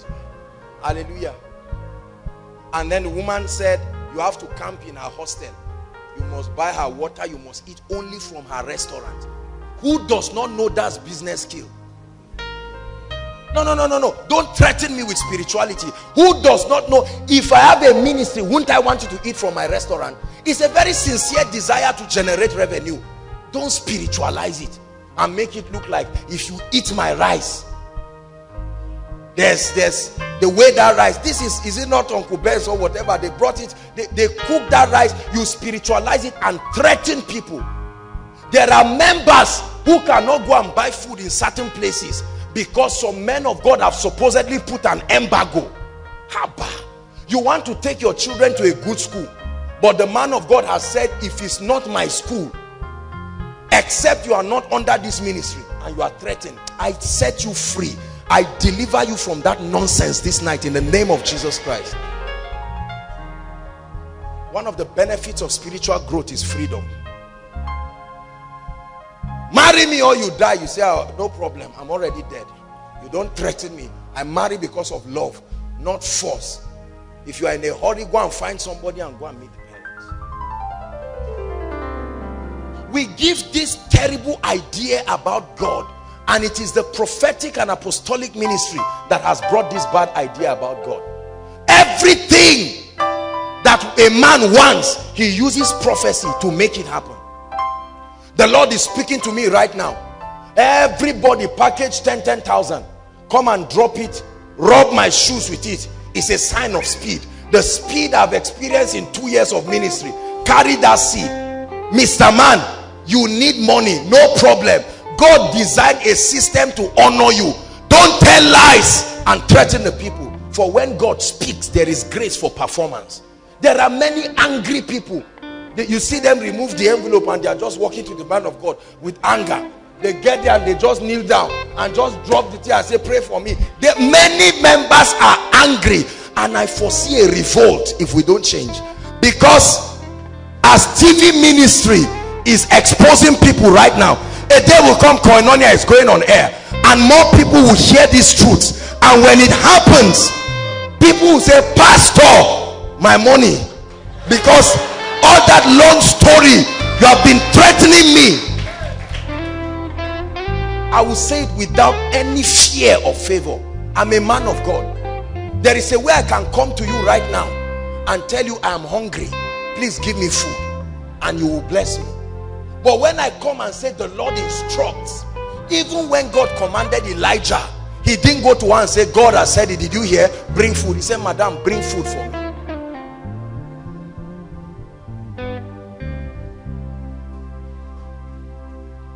Thus saith the Lord. People have mortgaged their vehicles. They carried their jeeps and gave a man of God because he said, God said, bring it.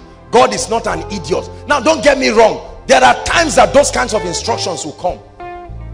I can't tell you how many times God has made a demand of my resources, demand of any and everything. However, anything that is not done by love, brothers and sisters, is sin. Don't let any man threaten you to marry him in the name of prophecy. Don't let any man threaten you. The worst one is becoming part of a church because of prophecy. So like all these guys now serving the lord the day now they are ready to go and start their ministries or do something the man of god now stands and says if any of you leave this assembly except i'm not a man of god there is a curse upon you. Nonsense. There's no such thing as that. Except if they believe it they'll go and die as a result of lack of carelessness and preparation not because of insecurity expressed in a threat are we together now? There are so many pastors. They can't marry. They can't get a job. They can't move because they are serving a self-centered man of God who is enjoying their ministry and will never allow them to move. The moment they want to move, he said, the course, remember. And they now stay back. I deliver you tonight in the name of the Lord Jesus Christ. Any man you.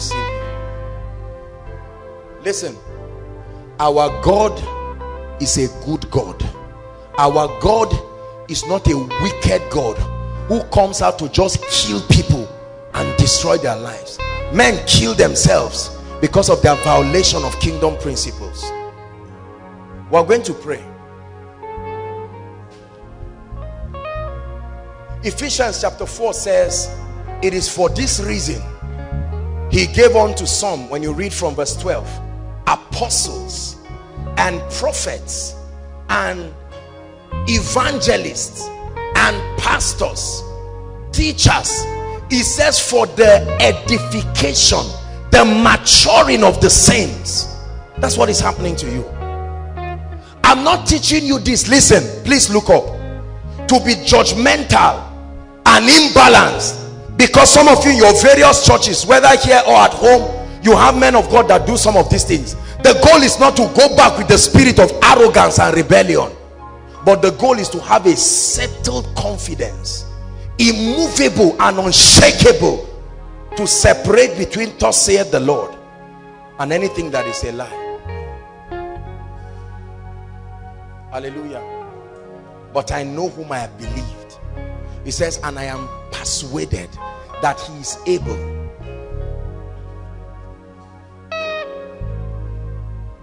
So number one, I spoke about the fact that God is always in the church. I'm doing a review. Everyone say God is always in the church. Yes. Regardless of the imperfections God is always in the church. When you go to church, look for God. Don't look for doctrines. When you go to church, look for God. Don't look for dress code. When you go to church, look for God. Not a man's ability to speak good English or otherwise. Not a man's ability to gather degrees. And then you use that to mean, oh, this guy knows what he's saying. No.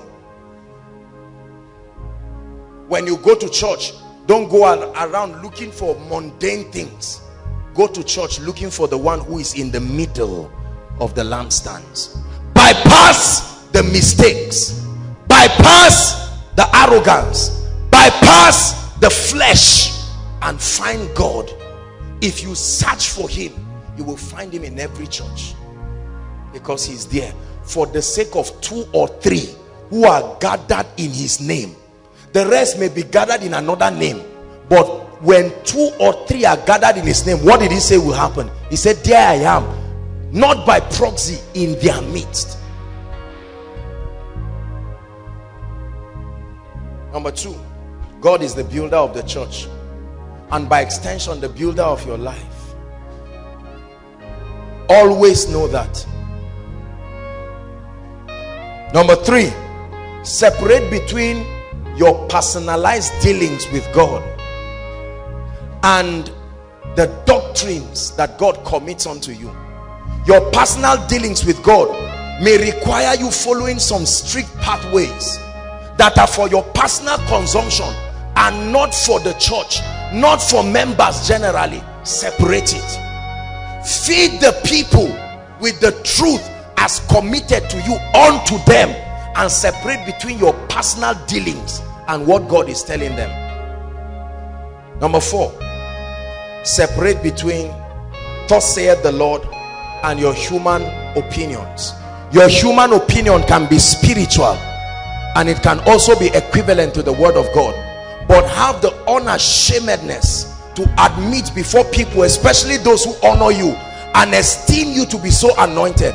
Have the meekness to tell them this is my perspective on this issue.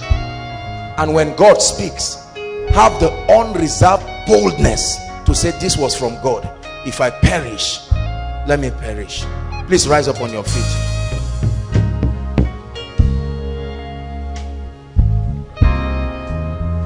hallelujah. We're going to pray. I'd like you to please participate in the prayer. I thought I'll have time to round off with Psalm 133 a mystery God showed me about the blessing released when the corporate body comes but our time is up. But I think we've had enough. Listen to me.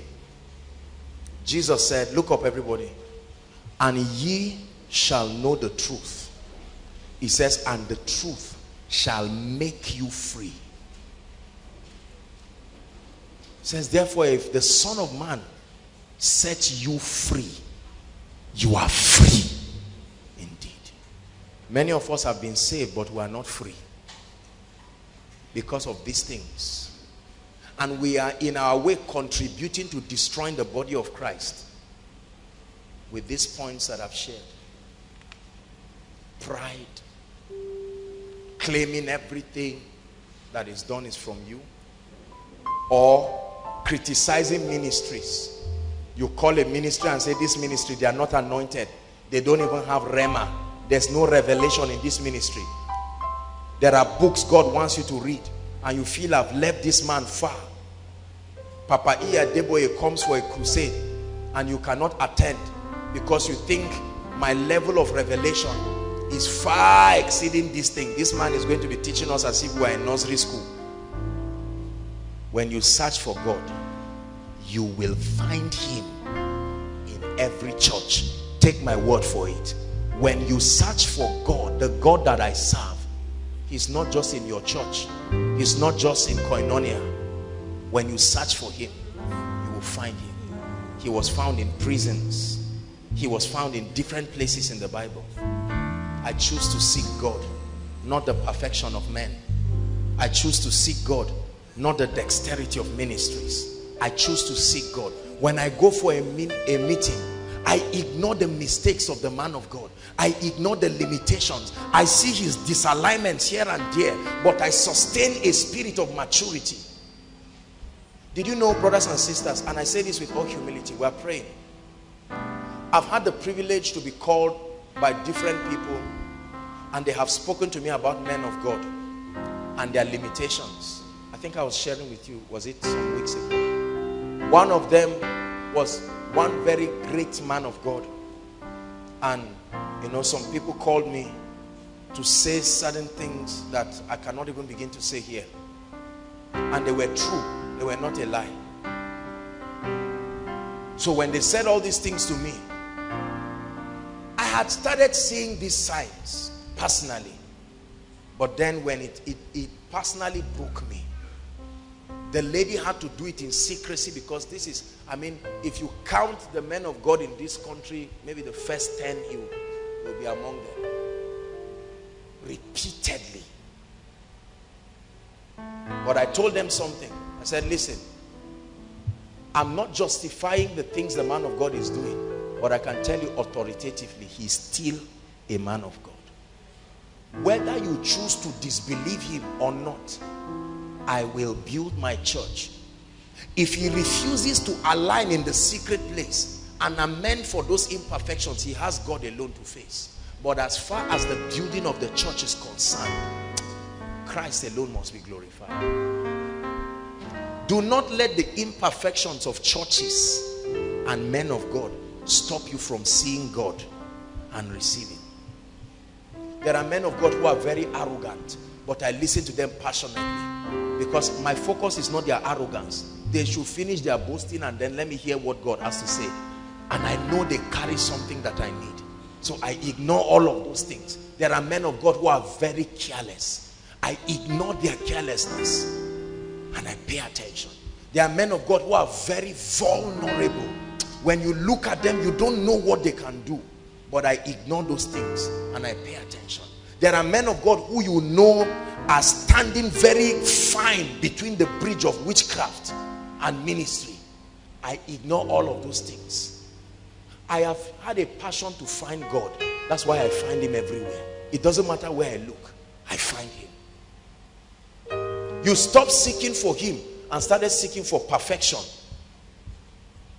In a man of God, in koinonia, in your ministry, you search, you stop searching for him and you started seeking for perfection in every book. You started seeking for which Greek word is correct or wrong. And it stops blessing you. And defeat. Let me give us something. Isaiah 31 is a scripture that blessed me so much and I think it will bless you. Verse 1 to 3. Those who depend on the strength of men the strategies of men. Listen to what the bible says. Woe to them that go down to egypt for help and stay on horses and trust in chariots because they are many. It says and in horsemen because they are very strong but they look not to the holy one of israel neither seek their god. Let's go to verse 3 verse 3 please it says now these egyptians that you claim are so formidable they are men oh. Are we together now? It says and not god. And their horses are flesh. There is a limit to which they can defend you. It says and not spirit.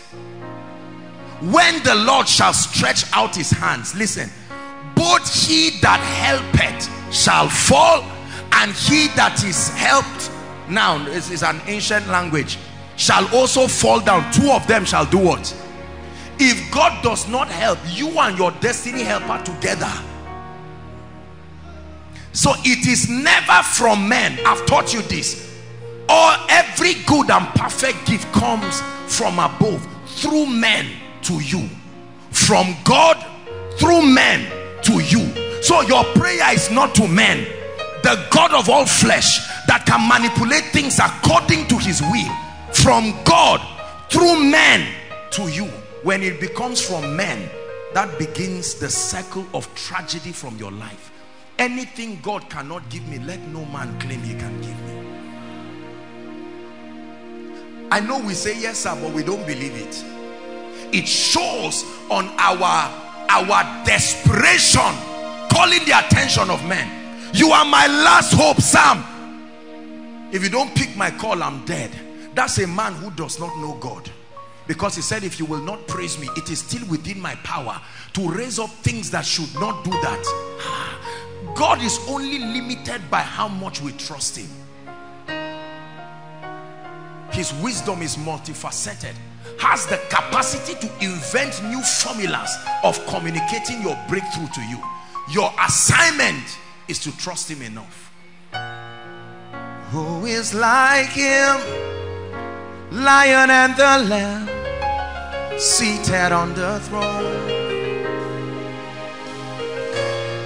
Mountains bow down every ocean rolls to the Lord of Lords. Never, never allow your appetite or your perception of the ability of men and human strategies to help you to outrun and push away the fact that you know God is faithful. I know you're a businessman and I've read every business book, but by and large is only a channel. Every good and perfect gift comes from above. I know you went to school, but let me tell you something. If God does not speak a word on your behalf, your certificate can be a piece of paper on this earth. As sad as the recession is, it has brought so many arrogant people to their knees. Men who think God is limited by their perceptions and whatever it is. No. God is mighty. He's not scratching his head in heaven wondering what to do with believers. His wisdom is so infinite, it reinvents itself to manipulate answers to men, regardless of the circumstances. You are God alone from before time began. You are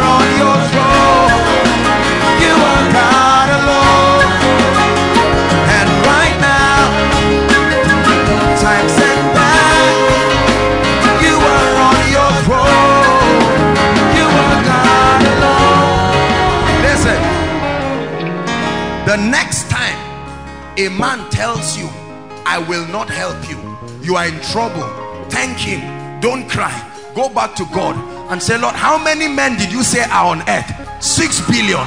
Let your wisdom, your infinite wisdom that can raise up stones, stones.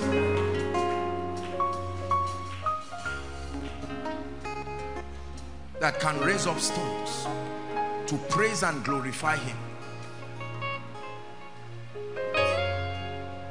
I will never trust the strategy of men above God. I love and know and fear him too much to be that foolish. That a man comes and says, look, Ejimi, tomorrow I'm going to change your life. Just because you have five billion in your account, that's a joke. Is it not until that man wakes up from the bed in the morning?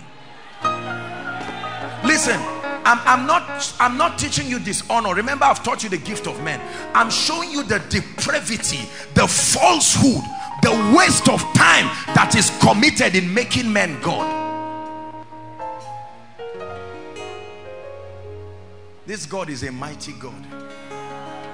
Your trust in him puts pressure on his integrity. Pressure on his integrity. That's what brought some of you here from so far. You have put pressure on his integrity. I assure you he will not disappoint you.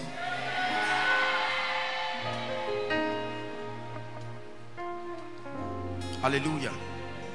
All through scripture, the Bible is full of God's promises. And then attached to them are conditions that men must satisfy as a proof of their faith in God. God cannot assume you trust him. So he creates a condition so that you're activating that condition is proof of your partnership that I agree with you. It will be costly for me to take this water and then tell Pastor Ejimi, I want to force you to take. No, no, no, no. I can't assume he's thirsty. Are we together? So I say, Ejimi, if you are thirsty, I have given you access to this. You're picking the water is proof that one, you are thirsty, but number two, that you believe I'm not a liar. Now, if you want to come and pick this water and the protocol stops you, it, you have you have obeyed, you have put pressure on my own integrity, and so I come in and I tell him no, I instructed him. He's acting based on his trust in me. He's not acting based on rebellion. The problem is never the devil. The problem is our fear. Alienated from the life of God through the ignorance that is in them. Number three, quickly. The third reason why people experience failure, defeat perpetually is demonic oppressions. Demonic oppressions. First John chapter 5 verse 19. Demonic oppressions. We live in a world that is full of demonic activities. And the Bible did not leave us in the dark as to the reality that there are forces of darkness that attempt to contend with the liberty of the saints. It says, and we know that we are of God. Read on. And how many?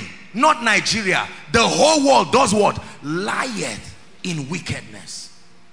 Like you say, my child is lying on a carpet. The whole world lies on a mystery of wickedness. The condition to be a potential victim of this is that you are born of a woman. The moment you arrive here, that's all. Are we together now? You know, several people say, who did I offend?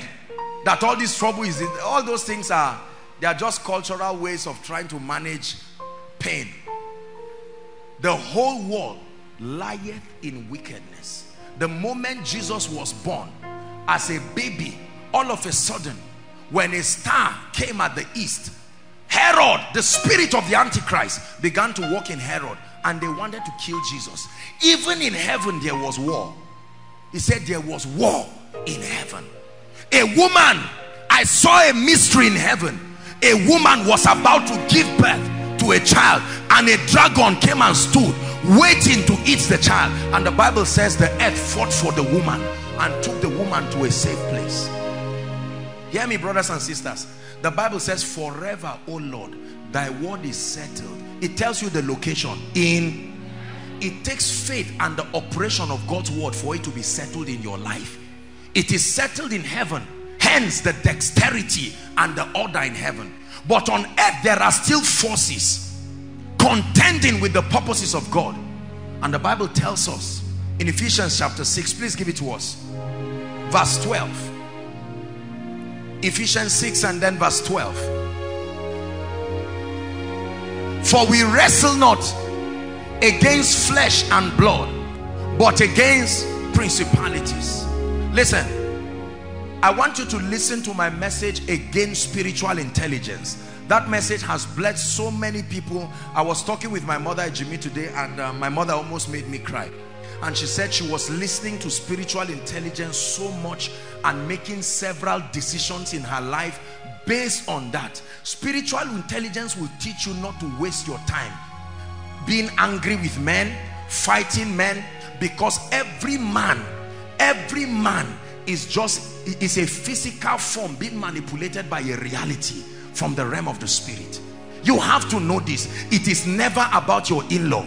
It is never about your son. It is never about your daughter. No, no wasting time on men will make you hate people you cannot love there is a revelation that sponsors love so even if people speak against you you know that they are not speaking of their own Peter tried to rebuke Jesus that you will not die on the cross he said Satan get thee behind me and he said Peter Satan desired Peter said which Satan we came here together. Satan desired to sift you like wheat.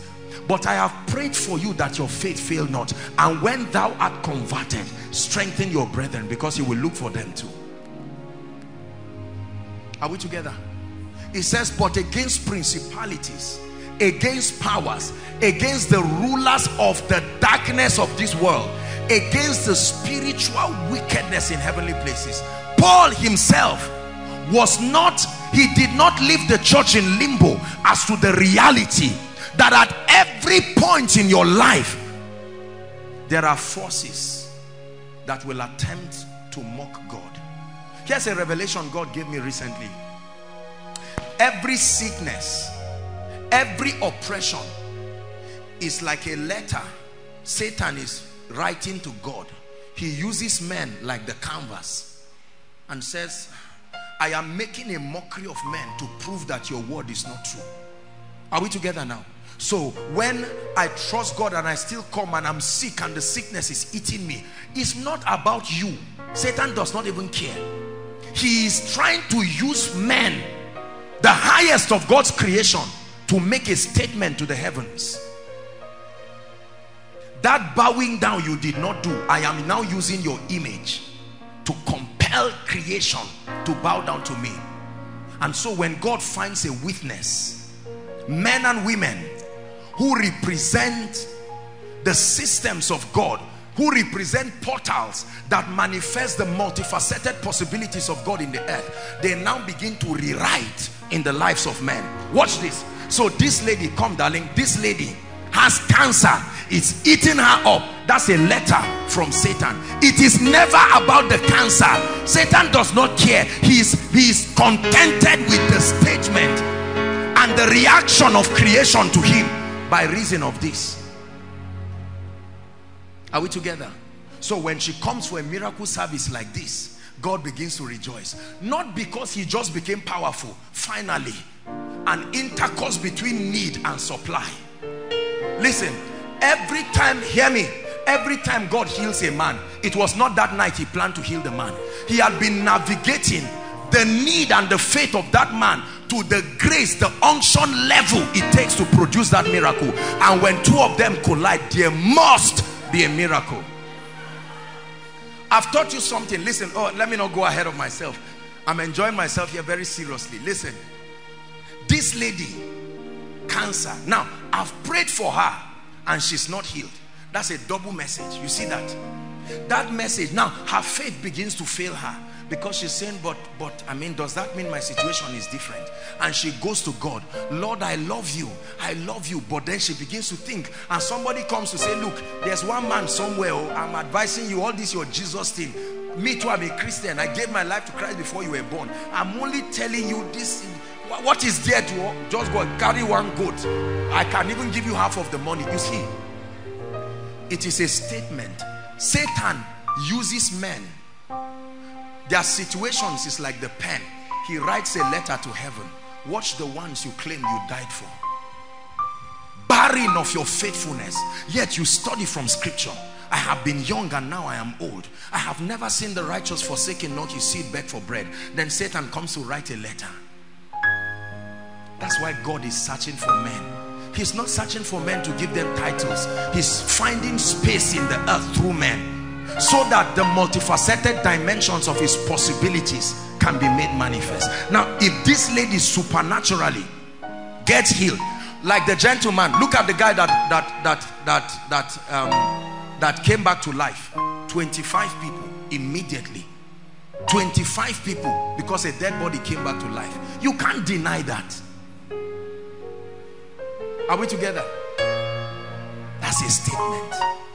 Brothers and sisters tonight my father will write another statement. Yes he will. Yes he will. See God does not just write anyhow. He writes in a way that he must force you to read it. his miracles are notable. Ask moses. He made the bush to burn in such a way moses could not ignore it that's the same way somebody will walk out of this meeting and all of a sudden doors opening opening opening opening.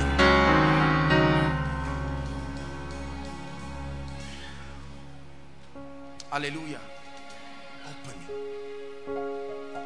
That's the god we serve so when miracles are not just a proof that a man is anointed, that's the last reason for a miracle. Miracles are a message. It's a reply from God back to men and to the gates of hell. I am still faithful. The lion, the lamb. My benevolence is still in force. I am still good. My mercy endures forever. And he uses men sometimes you see in his wisdom he just allows the devil to exhaust his knowledge. Then he comes in so cheaply and lifts a man and says satan how about this? When you understand this hear me. You will passionately pursue the presence and the power of god not for fame. You are seeking to give god space. There is a statement that god needs to write to principalities and powers. They mock god in our life are we together? This is what happens. Because it's difficult. Brothers and sisters, we are humans. When your life has a track record of perpetual failure, it will test your faith. And that's when Satan comes and tries to say, where is your God?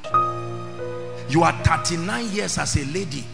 You have loved God all your life. No marriage and I'm here believing my life anyhow. I'm still married, but another man still wants to add another marriage to me. Look at two of us. Brothers and sisters, they are not speaking on their own. It's a letter.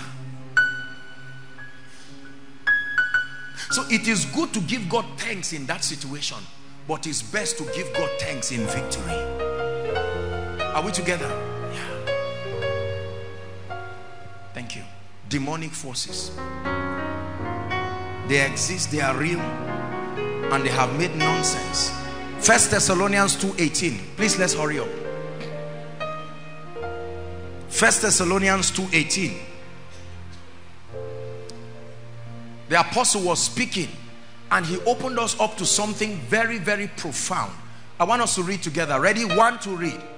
Wherefore we would have come to you, even I, your breakthrough. But what happened? Help me, please. Once and again, your breakthrough would have come to you. Your prayers answered already, but Satan hindered us. Satan can attempt to hinder men from meeting men. Satan can attempt to hinder things from meeting men. Are we together now? It's part of the reasons why we pray. We pray because in the place of prayer, we create our own climate and we command the forces of darkness. We enforce the victory of Christ and we clear the air for believers to receive the fullness of the blessings of God. The last reason very quickly and then we'll pray. Why do people experience limitations in their lives? They trivialize and ignore the place of spiritual empowerment. This is the last reason. The last reason, I've given you four reasons why people remain in perpetual defeat. They trivialize and ignore for many the place of spiritual empowerment. Ephesians chapter 6 verse 10. We celebrate the anointing of the Holy Spirit in this place.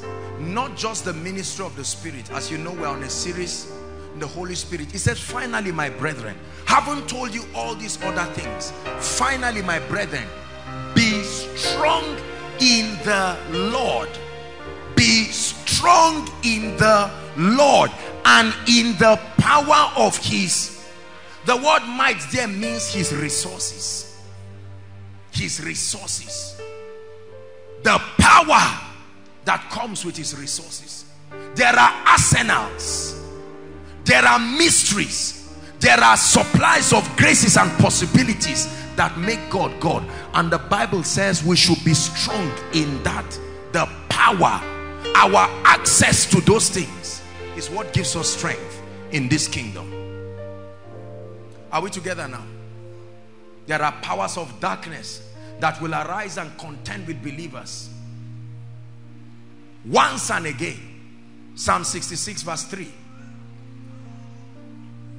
Psalm 66 verse 3. Let's read. One to go. Say unto God, how terrible art thou in thy ways. Help me please. Through the greatness of thy power shall thy enemies submit themselves. Brothers and sisters, it takes power to reign in this kingdom. It takes power to reign in this wicked world. It will take power for you to rise and not compromise yet prosper it takes power it's more it takes more than sincerity in a wicked and a depraved world are you going to bribe? No i will stand in for truth. That means there is no promotion for you. And you can remain there for decades. Are you from so so so state? No i'm not. No you are not qualified for this position. Human sentiments. It takes power to defy the wickedness of men. Takes power. Hallelujah. Takes power. Takes power to build a ministry. Much more than wisdom. It takes the ability of God. It says, Rabbi, John 3 verse 1. We know that thou art a man, Nicodemus, seeing the mighty works of Jesus Christ. They criticized him in the day, but he smuggled his way to Jesus in the night and said, Rabbi, we know that thou art a man sent from God for no man can do these things except God be with him the anointing of the Holy Spirit is God's authorization upon a man to represent him. God's authorization. The anointing of the Holy Spirit is God's ability. Listen the capacity to produce God's result God's dimension of result can only be produced by his dimension of power and grace. We trivialize the anointing because we have been taught that the anointing is for men of God. And since I'm not being called into the fivefold ministry I do not need the anointing. No brothers and sisters hear me. The anointing the anointing i've said it again i want it to become a revelation in you that the anointing does not make the difference. The anointing is the difference.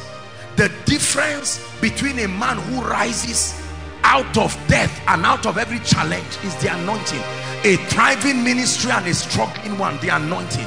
A thriving career and a struggling one the anointing. The anointing will be the difference between your next level and where you are now. Don't trivialize it. Don't say it is unnecessary. No. The anointing is God's advantage in the life of the believer. It truly is an advantage. I think it was the last set of School of Ministry students. I was teaching them when we were doing pneumatology. I was teaching them about the anointing. And I said, this our wicked world. People ask you, who is your father?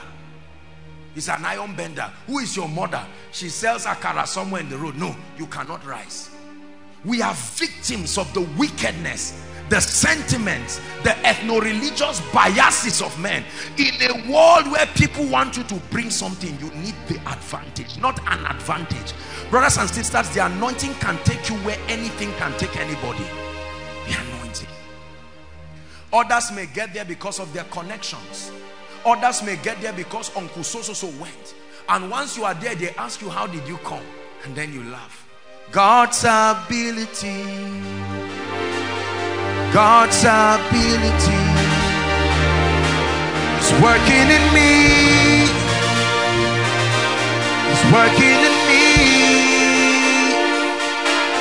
Is God's ability. God's ability is working in me. Is working in me.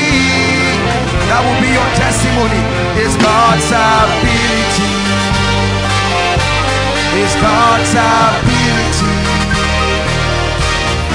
working in me?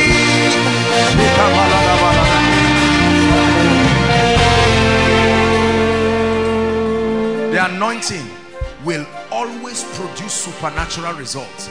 You've heard me say it. If it is the Lord's doing, then it must be marvelous in our eyes. If it is a man's doing, it is natural and logical.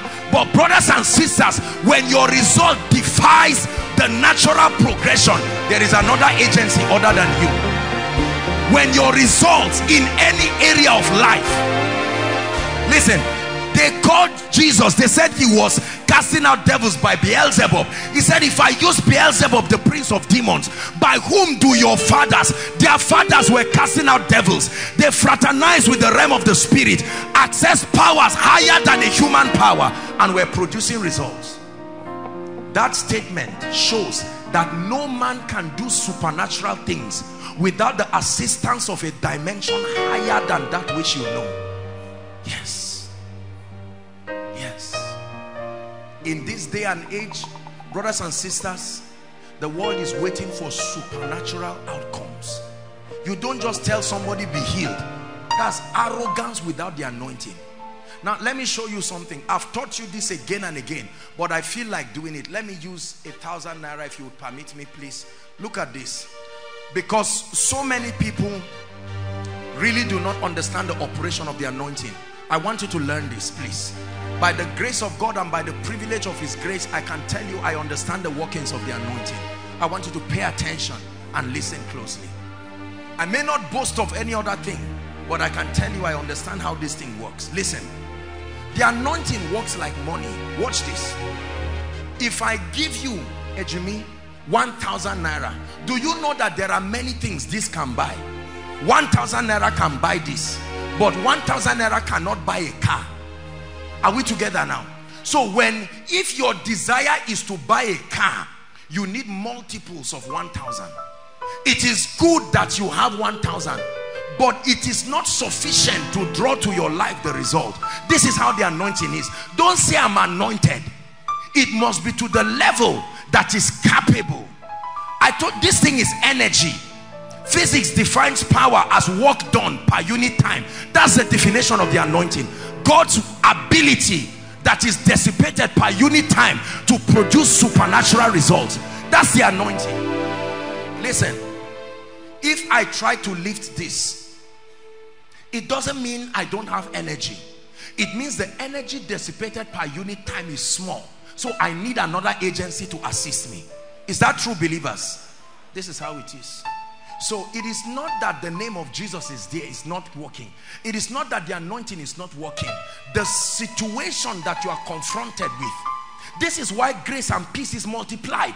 Because there are situations that defy that current level. So he says, grace and peace be multiplied to you why is it multiplied how God anointed Jesus Acts 10:30 look at the extent to which he anointed Jesus of Nazareth with the Holy Ghost and with power let me show you how to be a blessing when you contend with the spirit to carry a dimension of grace and unction sufficient to solve most if not all the problems that you will find.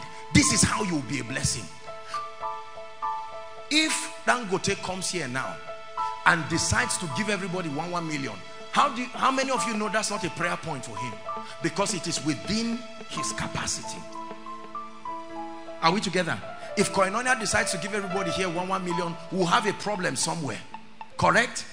Not because we don't have money. It is the limit of our capacity. So it's not when when this guy has a problem. It's like a shop. There is a dimension of anointing required to solve it. So when you come to help him, it's not just that you laid hands. He may even fall down. But the money is short. What do you need? More. More. More of the same thing. Not more of a different thing. More of what? The same thing. so Benny Hinn can climb the stage and he's not even held the mic and 40 people rise out of the wheelchair. You see, that the anointing upon his life makes him see clearer the might and the possibilities of God. When you are not heavily anointed you create a wrong picture of God because you struggle for little results. And it looks like that's how much God tried to release that result. But watch another man who comes with grace and unction. And you watch ease as a testimony. It's called capacity. The anointing makes God look limitless in the affairs of men. This is why regardless of the results here and there that God produces we still remain in the secret place because there is more. Brothers and sisters there are people scattered here tonight. If I ask everybody to come and hold the mic people will not travel from end to end. There are people following from over 45 nations of the world. They are not sitting down and wasting their time. No no people want solutions. Now a man of God gets up here called Joshua Selman.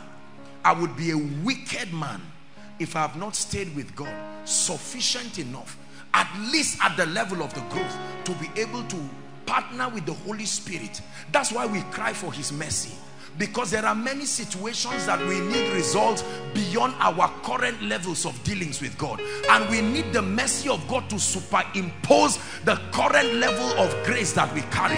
That's why sometimes I tell you that God does not heal people just through a man's faith. He switches to the covenant that that man has with him and it becomes a platform upon which he reaches men. Are we together?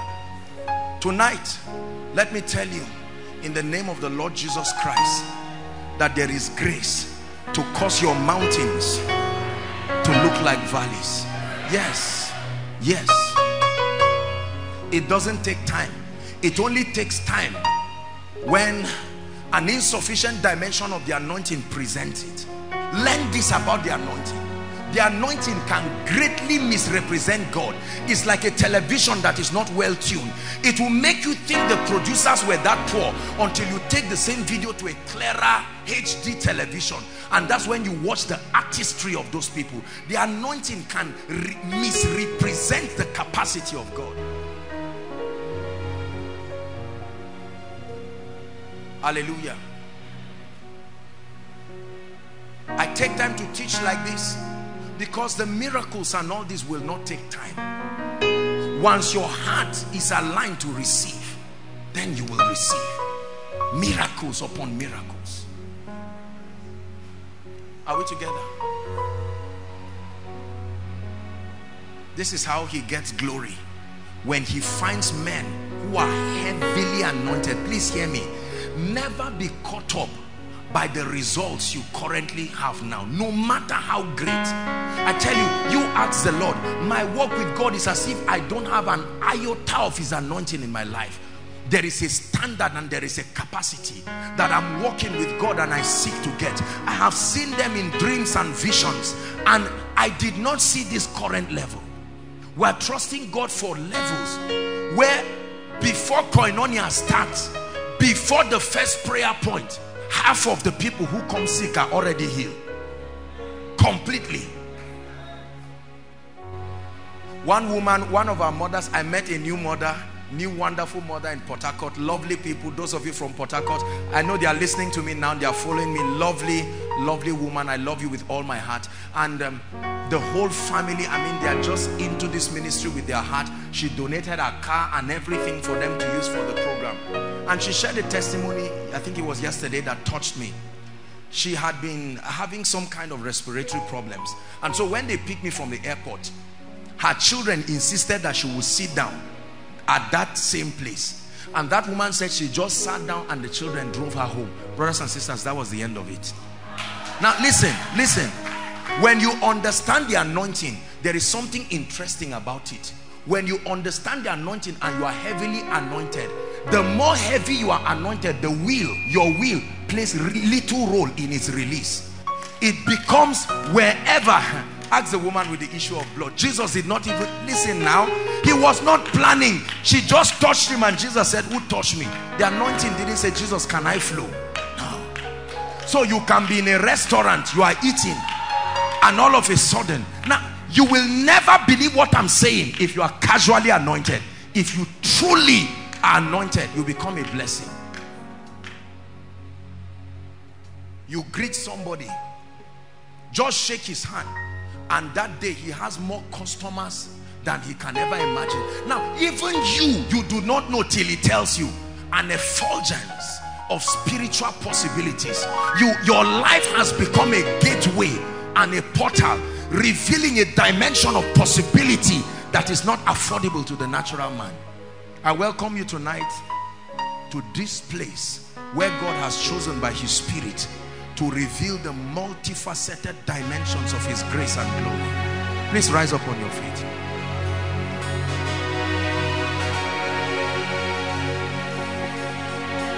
Oh, oh, oh. Oh, oh, oh. Oh, oh,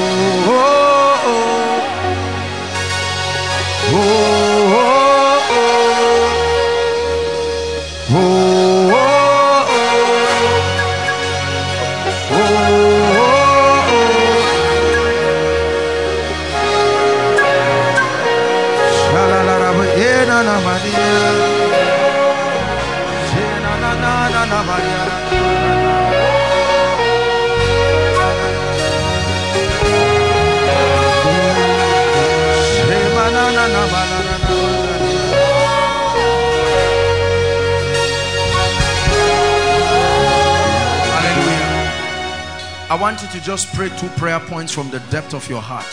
Number one, I'd like you to insist and say, Lord, I release my faith. There is no challenge I came here with tonight that will return back. Go ahead and pray. Prophesy, declare it. I wave every captivity goodbye. Jesus is Lord. Now the Lord is that spirit. And where the spirit of the Lord is, there is liberty.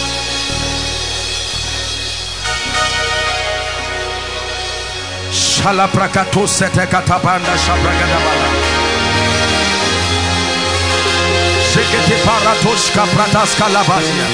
Pray. I believe in the mighty God. De-da-na-na. Na-na-na. Shela-na-na. Shekadabalakata sekete. Shebreskete shalabanda katai. I have found David my servant and with my holy oil have I anointed him.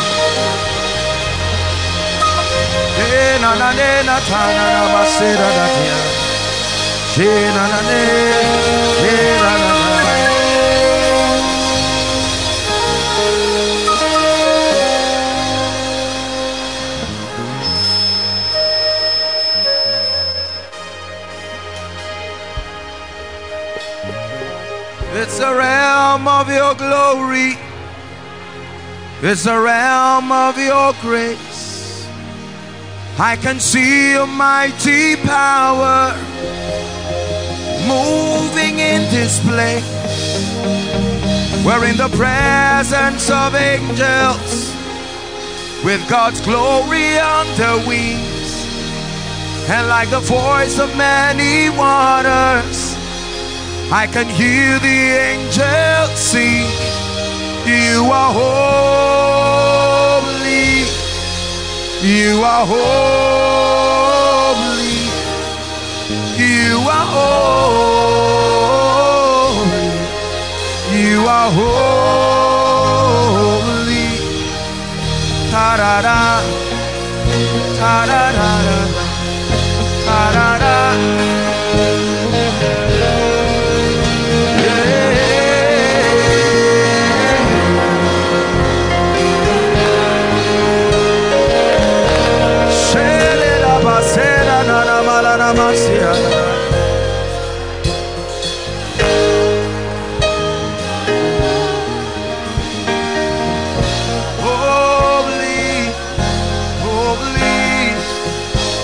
Hallelujah.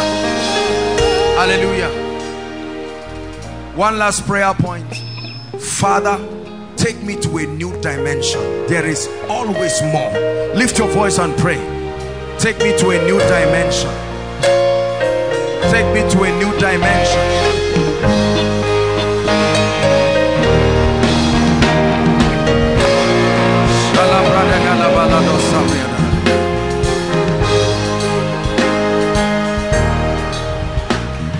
Shalabrades Calabrando Shabaria da Baladabos.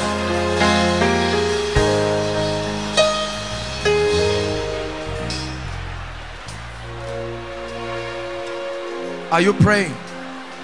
Take me to a new level. Let me not need to tell people that I came before your presence.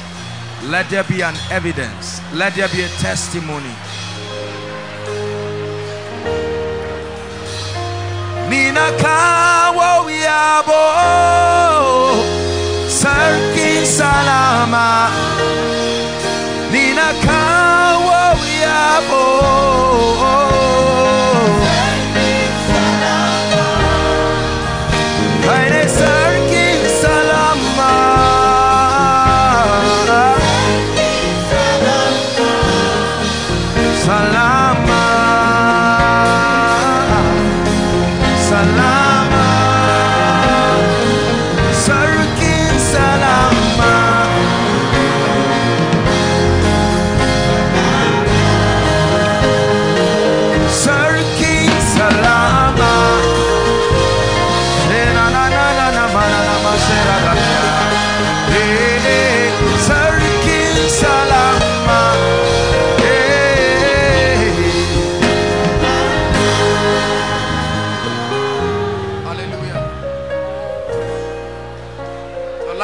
never be the same.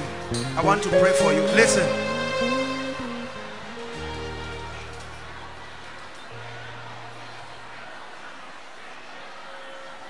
I want you to trust God.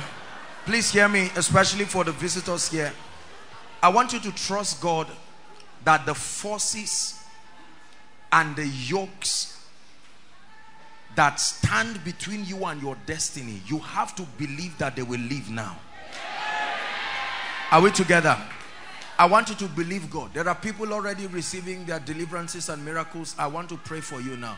My heart is heavy because in this season and in this time, God wants to set people free. Some of you may not know the causes of the situations, the challenges, the things you go through. You have prayed, you have fasted. God has brought you here tonight and He will give you a dramatic miracle. Are we together now? Lift your hands. I want to pray for you.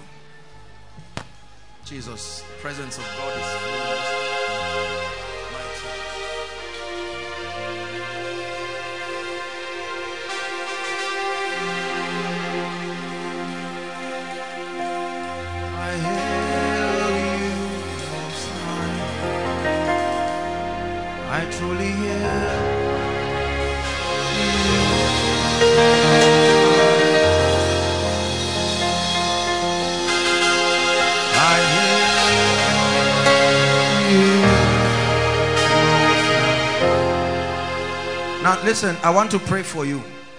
I see a writing. I just see a writing in the realm of the spirit and I see great breakthrough. This is what I see. Great breakthrough. There is a grace that is coming on people now. The Lord is starting off with us tonight bringing strange breakthrough to people. I want to pray now at the count of three in the name that is above all names. I decree and declare in the name of the Lord God whose I am. Right now at the count of three I release that grace. I command every devil standing on the way to anyone's breakthrough. I command that you leave right now in the name of Jesus. At the count of three, I want you to shout the name Jesus. One, two, three. Go now. Go now. Bring them out. Inside and outside.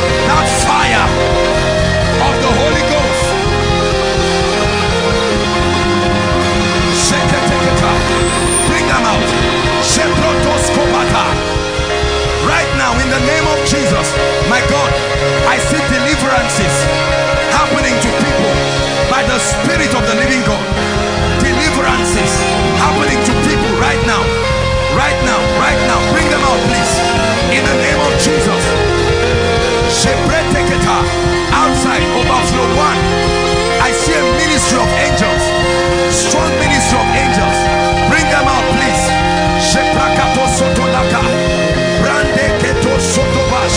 Lakatakata, regete Koto Shotopa, Brato segete, Embrekete Kata. I come in the name of Jesus. In the name of Jesus, I establish victory. Victory.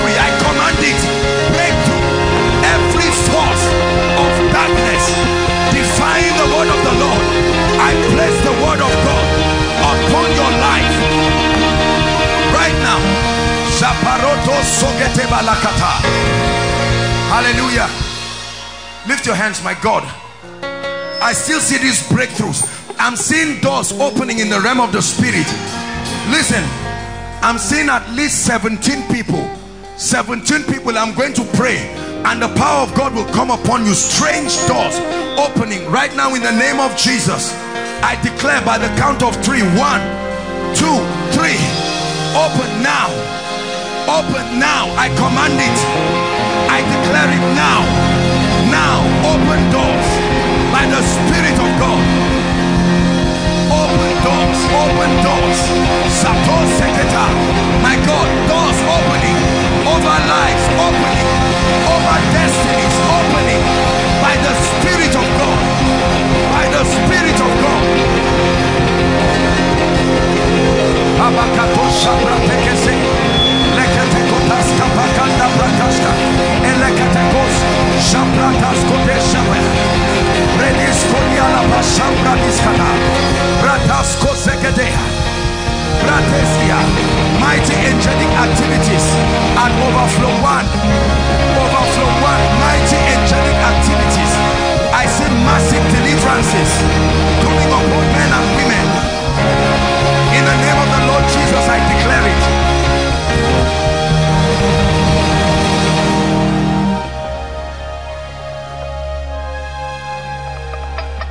Please lift your hands and pray. The Lord is showing me people here with strange delays. You love God, but strange delays. I'm seeing like arrows in the spirit, and this is not from darkness. It will come upon you. Once it comes upon you, know that that delay will end right now. In the name of Jesus, the Lord is asking me to stretch my hands. As I stretch my hands right now, in the name of Jesus, Lord, where are they? Men and women who have been delayed strangely, right now, right now, right now, I command that light and power, that light and power, ending delays now.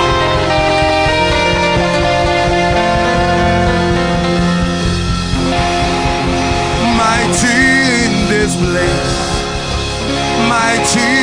this place. You are mighty in this place, mighty in this place. You are mighty in our life,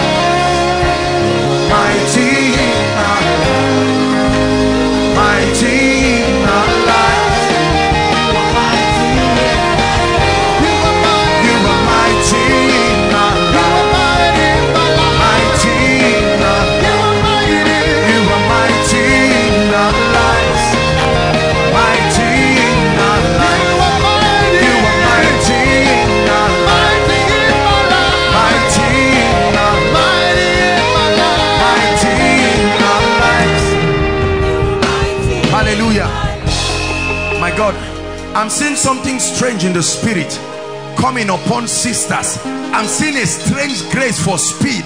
Just sisters, sisters, I'm seeing this. And the Lord is asking me to prophesy it. As soon as I prophesy it, there is a strange unction coming on ladies for strange speed. I see this in the realm of the spirit. Now, Lord, I place the word of God upon this prophecy and I declare, ladies, step into speed now. Supernatural speed. Run like Elijah. I command it, I decree it in the name of Jesus. Strange speed. Strange speed.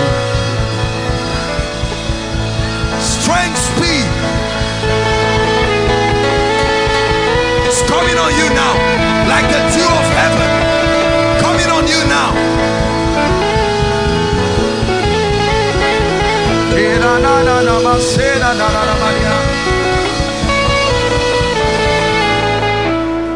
Hallelujah. Hallelujah.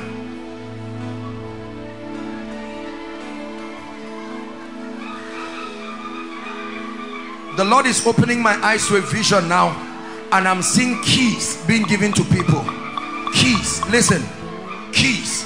It will come on you like fire. I see keys. These keys are solutions and strategies. Solutions and strategies. Solutions and strategies. you will help me shout that name Jesus again. I see keys being handed over to people according to the grace and mercy of God. Now Lord I pray that even as you have shown me whoever should be a recipient of this spiritual blessing I decree and declare that it will come upon their lives now. Are you ready? At the count of three get ready now. My God my God my God. One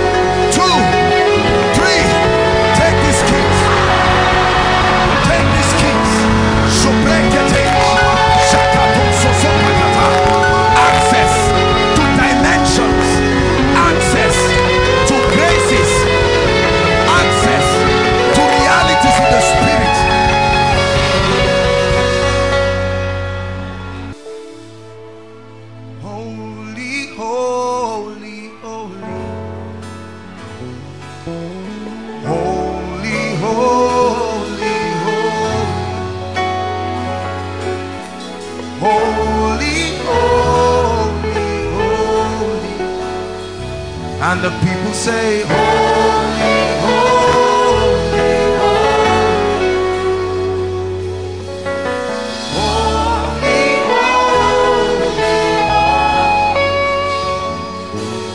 hallelujah Hmm. I will pray for you but let me just do what the Lord is asking me to do I've told you many of you wonder when you see me do this particular thing where I just mention a state and the Lord begins to touch people from that state. It's a sign and wonder. You see these things they are operations of the spirit. Because the Lord is opening my eyes right now I'm seeing a map of Nigeria and I'm seeing the hand of God on south south south south that entire region. Now now all those who come from that region south south south south the miracle now.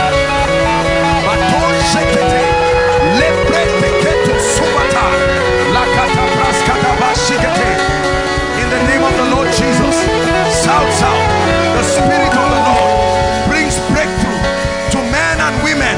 You can't stand it. Breakthrough. Every hanging delay from the south south I see the hand of God. Strong upon men and women. Strong upon men and women. Ending captivities by the spirit of the living God. Holy holy. Holy holy holy. Holy holy. Hallelujah there is somebody in overflow too. You are holding a picture. You are holding photos. Please come. Overflow two by the roadside. Let the person come. Let the person come quickly. You are holding a picture. The lord is showing me someone. Please let let that person whoever he is or she is please quickly. You are holding a picture. Run. Come. You are wearing like blue. Uh, is it blue or black now? Who is that? Come worry mama. I'm going to pray for you. Where is your daughter ma? No mic. I'm looking at you. Hold on. Is this her? I'm looking at you and the holy spirit is taking me and i'm in kano. Where is she? She's at Kano. where is she? That's what i'm saying. She's at Kano. and the lord why why why are you holding her picture? Is She have to now she have never get married. uh-uh And this is day she's sick. This is what I'm saying. This is what God wants to destroy because I'm seeing her in Kano and you are standing in for her. Yes. I'm supposed to pray for those outside, but I saw this and the Lord is saying I should minister to you. Go and tell her that the Lord brings her life. This sickness is over.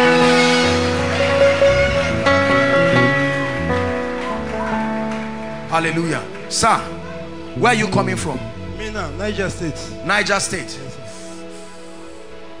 Thank the Lord because your car would have had an accident on the way coming. And the Lord has brought you deliverance. Is this your family? Yes, sir. This is your family. Yes, sir. One, two, three, four. How many children? Four children. Have you stopped giving birth? Do you think this is all? I'm looking in a vision and I'm seeing one more, a baby girl. After this, hold my hand, sir. But the Lord is going to, I'm seeing you have serious problem with finances. Very serious. You are not a lazy man. Even you, you cannot explain how you got into this kind of trouble. But I want to pray for you because the Lord is saying I should release you from this. Hold my hand, sir. I bring you life. In the name of Jesus Christ. You will go back and return with a strange, this man's life will change like day and night. In the name of Jesus Christ. Mama, please come. I don't know this woman, but I'm asked to pray for you. I look at you in the realm of the spirit and I'm seeing two hands like this. You're a woman of prayer. This is what I'm seeing in the realm of the spirit. Look at me, ma. You love God sincerely, but many things are going around. They are scattered in your life. And you have been asking, can God come? Can God step in? Even when you were there, you were praying that prayer. I heard you praying and the Lord is saying, I should tell you, he's giving you rest today. He's giving you supernatural rest. Madam, please stand up. Please stand up, ma. Please stand up. Where are you coming from, madam? It's from Sabongari you are coming. Hold my hands. In the name of Jesus, the Son of the living God, your life will turn around and that of your family. This is by the Spirit of God, by the anointing of the Holy Spirit. In the name of Jesus Christ. Have I prayed for you, darling? Come. In the name of Jesus, I end captivity from your life by the power of the Holy Spirit. Right now, in the name of Jesus, I end captivity. Don't worry. I mustn't speak to you. As I lay my hands on you, I want to believe. There's someone, you are outside, your baby is sick. Run with the person and come now. You are outside, your baby is sick. Run with the person and come now. Daddy, sir, can I pray for you, sir? I'm going to pray for you and the Lord is going to give you peace and the Lord is going to raise people to help you. Now, sincerely speaking, I want to be honest with you.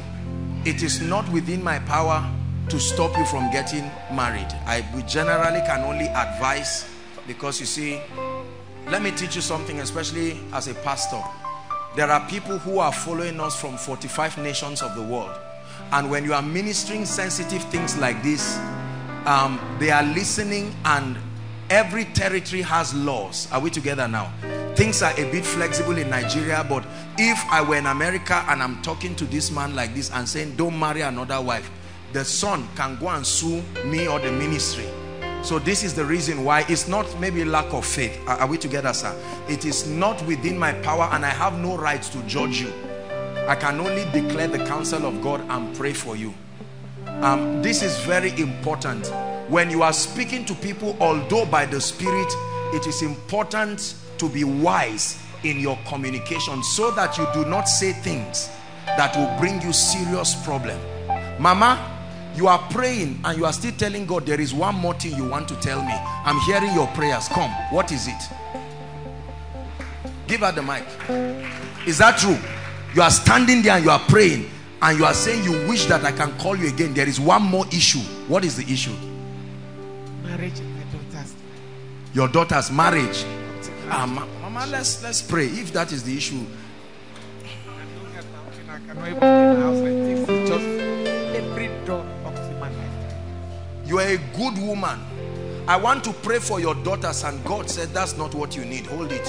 What you need is destiny helpers. Mama, as I'm looking at you now, they're about to throw you out of the house because your rent has expired. Give her the mic. Is that true? Yes, sir. You need somebody to help you. Yes, sir. Seriously. Yes, if not, a time will come, even what to eat will become an issue. The Lord said I should tell you, forget this issue of marriage. Hmm? The major issue is the ministry of destiny helpers. Amen. Lord, send people. Amen. You see, we must pray that God will grant us grace so that we can help our mothers. It's a terrible thing for a woman at this age to be praying as if she never had a child, as if she never trained anybody. That's why we cause the spirit of delay that makes people to be established very late. Now, according to scripture, a good man leaves an inheritance for his children's children. But sadly, being as the situation is, we must be able to turn back and be a blessing to these our loved ones. A woman like this at her age should not be going around trying to look for food to eat again. I pray that your loved ones will not look for food to eat. That God himself will empower you and establish you and send you help. Mama, don't cry. In the name of Jesus Christ, by the power of the Holy Spirit, the Lord will help you. By the power of the Holy Spirit, in the name of Jesus. See me after the service, madam. In Jesus' name. Thank you. I pray for you, sir. In the name of Jesus, may the Lord change your life, change your situation right now. In the name of Jesus. You are the one with the child? Please come. We're going to pray for the sick now very quickly. What's wrong with him? He's, running temperature this evening. Just this evening? Yes, sir. But he has been having persistent cough. Cough. Coughing. Let's pray for him. Lord Jesus, I pray for this, your dear son, by the anointing of the Holy Spirit. I decree and declare that this boy be made whole right now. And for you, his mother, I command that everything the devil wants to put in your stomach, let it leave you right now. In the name of Jesus Christ, I pray. Please, why are they here? Mama, come. Please stand up. The Lord is visiting you. The Lord is saying I should tell you he's taking away reproach and pain Amen. from your life. Amen. This is what he's saying. Please stand up. Please stand up, man. That he's rolling away reproach. You see, as God speaks to one person, he's only using one person as a point of contact to speak to everyone. It doesn't mean that we have to call you. The time will not let that happen. Are we together now? For instance, Madam, are you from Kaduna? Who is from Kaduna? Uh-uh, uh-uh, not just a person, a woman. There is a mama from Kaduna that I want to speak to now. This is a young lady now, I, I, a, a mama, like elderly woman. There's a woman who came here from Kaduna. Not a young lady, please. I, I want to just speak to that person very quickly. Mommy, look at me. You have gone through so much pain. The Lord is saying, I should tell you, it's your children that will wipe your tears. It's your children that will wipe your tears. May the Lord raise them and may they wipe your tears. I pray for you in Jesus' name. Why is she here? You are the Deeper Life um, lady. You are, you are a member of Deeper Life. Are you sure? Hold my hands. Lord Jesus, I pray that you do a miracle in her life right now. Put your hand on your stomach. God is taking something away from your stomach now. I curse it. Something is leaving you now as I hold your hands. You are even surprised. Even you, you would not have known that there's something there. I'm seeing like a malignant growth, something that will later develop to a fibroid. I curse it by the God of heaven right now. In the name of Jesus Christ. Let it be over now. In Jesus' name. Come, my brother. You are James. I will pray for all of you, but you love Jesus. You love Jesus. I have to pray for you. Come. What's your name? Your name is James. Do you love Jesus? I prayed for one boy, one miracle service. Very bad friends. And I'm still seeing it again. I don't know where that guy is. And the Lord is asking that we pray for him again. You see, all these gentlemen, you have to be careful. It's important for us to be serious with God so that you don't land yourself in the police station. Hold my hands. I pray for you. The Lord is bringing restoration to your life in the name of Jesus Christ. Supernatural restoration. Sir, I pray for you. You will not, I don't know what is making, I'm seeing a thermometer up and down your chest. And the Lord is saying I should rebuke anything that has to do with your blood pressure. In Jesus' name, I command that it leaves you right now by the power of the Holy Spirit. I pray for all of you. Come, sir. Let me just make contact with you very quickly. In the name of Jesus Christ. Hasana. Hasana. We're going to pray for the sick now. We have to be very fast. Hasana. Hasana. I'm seeing someone with the name Hasana. Is there someone like that? Please, very quickly. Hasana, whether you're inside, outside. Hasana from Kogi State. Hasana.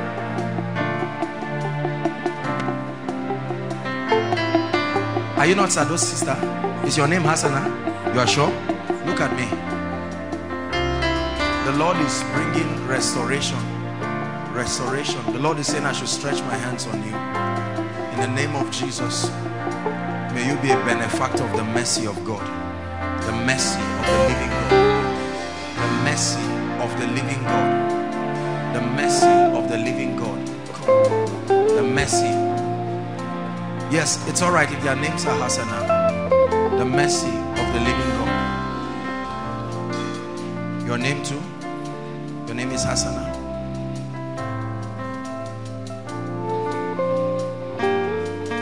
Come. I'm interested in what I'm seeing. Hold my hands, my dear. The Lord is bringing breakthrough to your family. There is a spirit that oppresses you and it must leave you now. Go! Now! In the name of Jesus, I curse you by the God of heaven. Let her go. Never to return. In the name of Jesus Christ. She's afraid already. Hold my hands. Hold my hands. Hold my hands. The light shineth in darkness, and the darkness comprehended it not. This lady you see, she's smiling, but there is a serious case. There is a very mad, wild spirit in the name of Jesus Christ.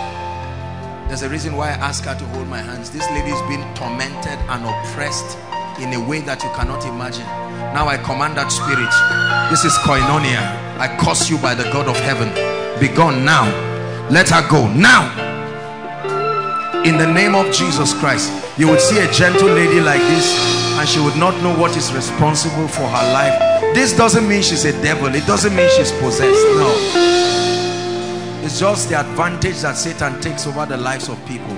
I command in the name of Jesus. Let me tell you what is wrong with this lady is not a little issue. This thing doesn't show on the face, so you just see people smiling, but they are victims of a lot of things. Let me pray for you, my dear. Come, hold my hands. In the name of Jesus Christ, I bring you life now. Life, devil wants to bring pain to your life. Hold my hands. I command it to come to an end now. Pain, repeated cycles of tragedies. I curse it by the God of heaven. An anointing is coming upon you, and the Lord Himself is giving you a supernatural miracle right now. There are three ladies. I just heard the cry of children, and there are three ladies. You are standing in for your families now. As I'm speaking, the anointing of the Holy Spirit is going to come upon them. Standing in for their families. Standing in for their families. Standing in for their families. Let the oppression in your family end now. This girl's family has gone through all kinds of things. This is koinonia. I bring you the life and power that is in the name of Jesus. Now, this is what we're going to do. Please listen very carefully. Um, you know that we take out time to minister more specifically to people. I wish that we had all the time, but we have to work with time. And um, we are going to pray for the sick now. Please listen. Whether you are inside or outside, if you are trusting God, listen please. Whether you are inside or outside, aside from these particular cases, if you are trusting God for fruitfulness for your loved one or any other person, whether you are inside or outside, please don't come in at random. I want you to come in. I want to minister to you myself. Aside from that, now we are going to pray for the sick. Overflow one, please all of you should walk to the front of your projector. You'll be ministered to. Overflow two and the one's extension of overflow four, please walk to the projector stand outside. Overflow three walk to your projector stand outside. Very quickly and those inside here i want you to just walk out to me very quickly. We're going to minister to people in that order. There are so many people it has pleased the lord to make this place a place of supernatural miracles. Please it, it doesn't matter where you stand. If you're outside don't come in. Just move to your projector outside hallelujah. Blessed be the name of the lord. We're going to minister to you now. You'll be very fast. Whilst we're doing that please your prayer request. If you've not written your prayer request or that of your loved ones those online you're yet to write do that quickly so that the ushers can follow and then we'll do that very quickly. Every other thing from here will now be the prophetic declarations. There are so many people inside and outside.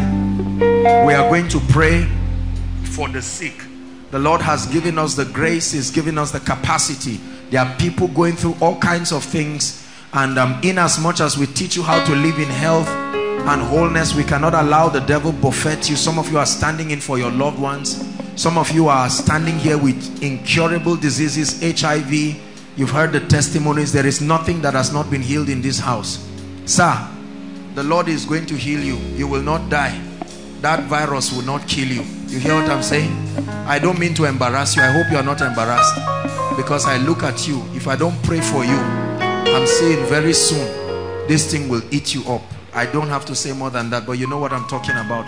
There is no virus. There is no situation that has not been healed in this place. And you know, we don't announce miracles if they are not medically verified so that it doesn't look like people are just faking things. So believe the Lord, especially if you are here for the first time. It doesn't matter who ministers to you. I just want you to believe there is a corporate grace that is at work here to minister and bring miracles to people. We'll be very fast. Please, those outside, you'll be very fast. Uh, Pastor Jimmy, let's see. Um, you handle overflow one outside. Um, Pastor Alpha, overflow two. Um, Pastor Femi, let's see. Pastor Femi and Promise go to overflow three. Mike, you walk with Ejimi outside there, and then. Um, have I told you where to go to? Okay, so we'll go in that order. I'm sure that I may just walk alone here. There are a number of people who are not here.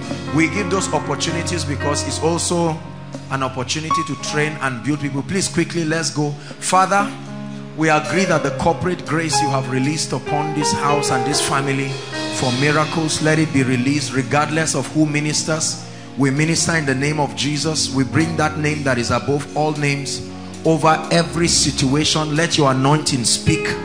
This is the moment, oh God, where you cure the incurable. This is the moment where you step into the lives of people. Let it be a quick walk. Let everyone here return with testimonies. In Jesus' name. I'm going to begin to minister to you, but there's one person here. The anointing of the Spirit will come upon you so strongly. That will be the signal of the grace to minister here right now. This is, don't, don't mind me. I do all my crazy things. Um, let's just walk by the Spirit. Someone here in front, the anointing of the Spirit will come on you in such a mighty way. The moment that happens, then I begin to pray for the sick now. Thank you, Jesus, for your mighty power. That's the person down there. So I can pray for you now. Bless you. Father, thank you. All right, guys, let's give God the very best. Please, you can sit down. You can sit down. While you are sitting, let's be praying because as soon as I'm done praying for the sick, we'll address other issues very quickly so that we can finish on time. The Lord bless you in Jesus' name.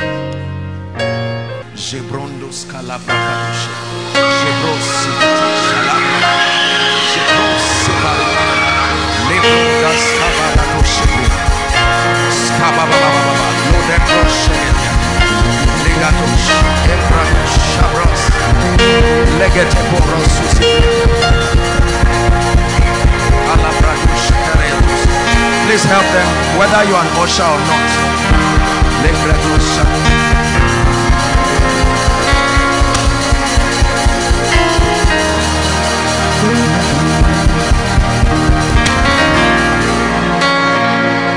Gadabalarabosh. New levels. There are people God is fishing out here. New dimensions. Shabradi. Engreto susabrigatia. It's a call to your spirit man. It's a call to your spirit man. This is not for everybody. It's a call to your spirit man. If it's your call, you will hear it. If it's your call, you will hear it. If it's your call, you will hear it. If it's your call, you will hear it. If it's your call, you will hear it. You must hear it. If it's your call, you will hear it. Your spirit will pick the signals of the Holy Spirit.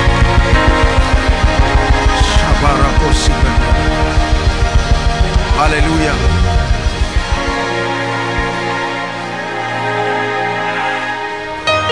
The spirit of prophecy is upon that man.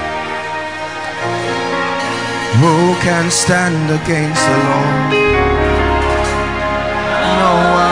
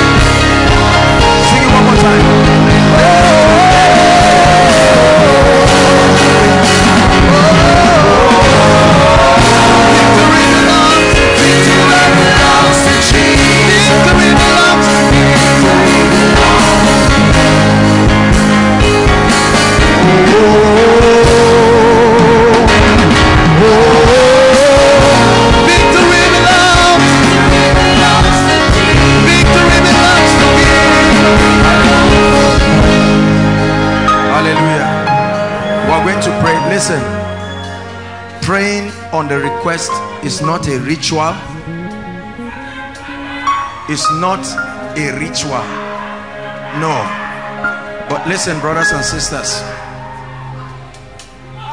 We bring this prayer request before the God of heaven representing the pain of people representing the mockery of darkness.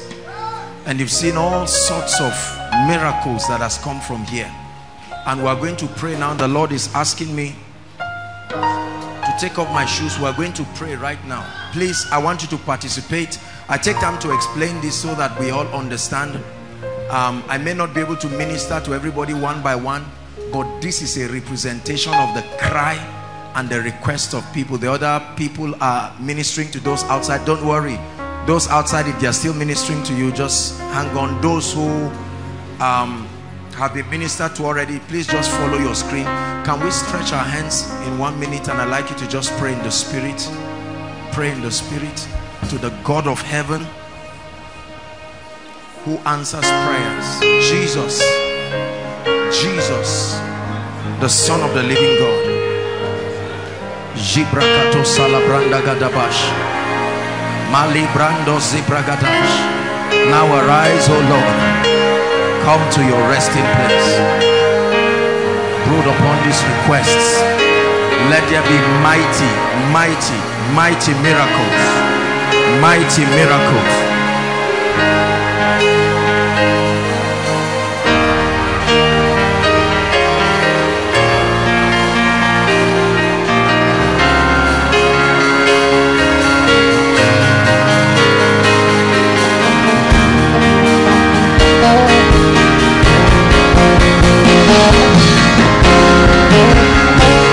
Hallelujah.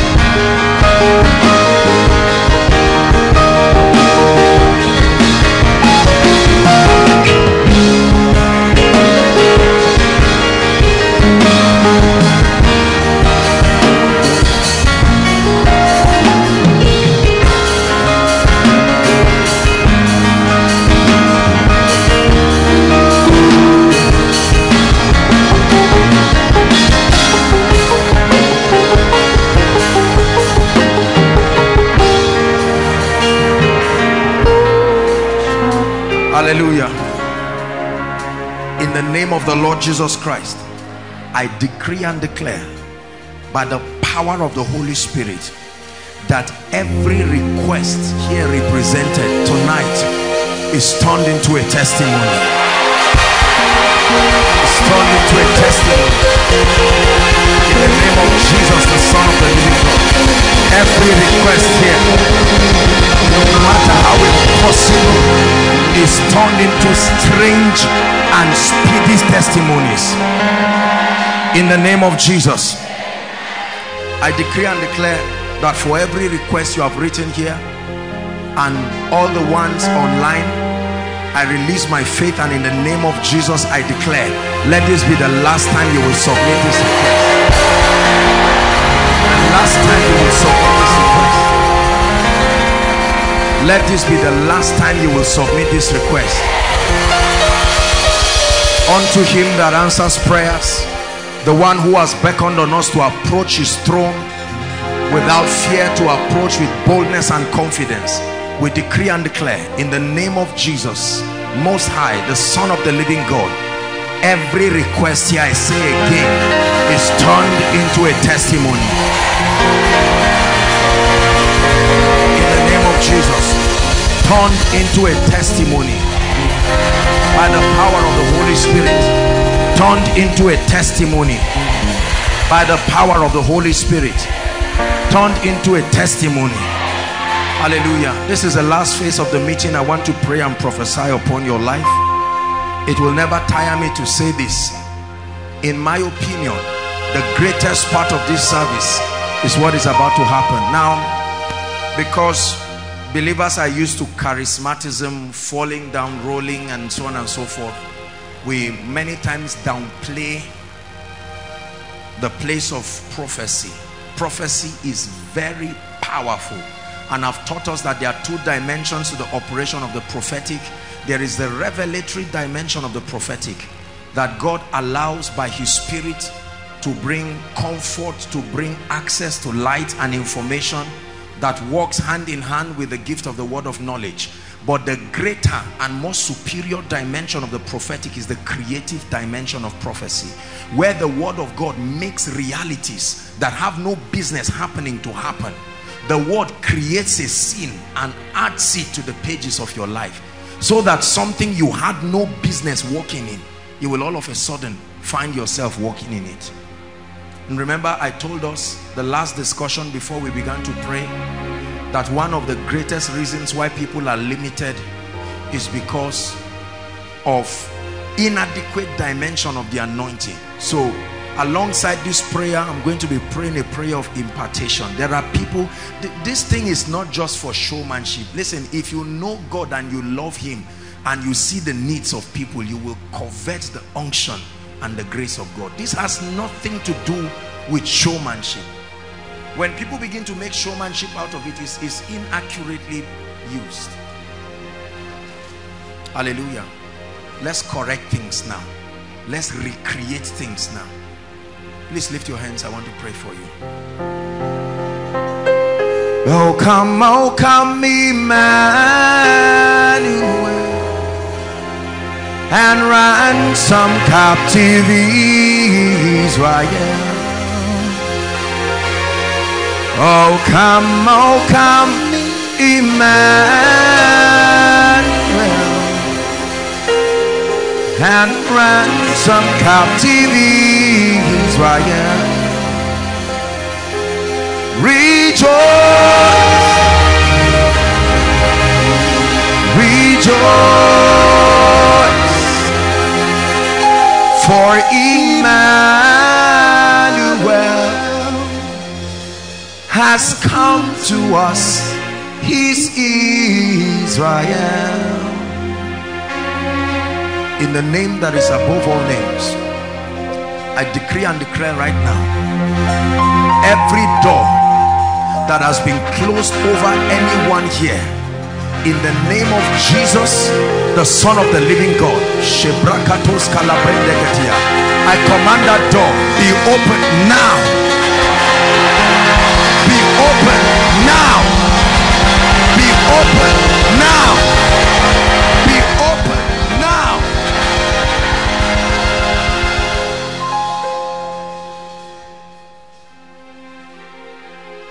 The Bible says, have you heard of this saying that a city gives birth in one day?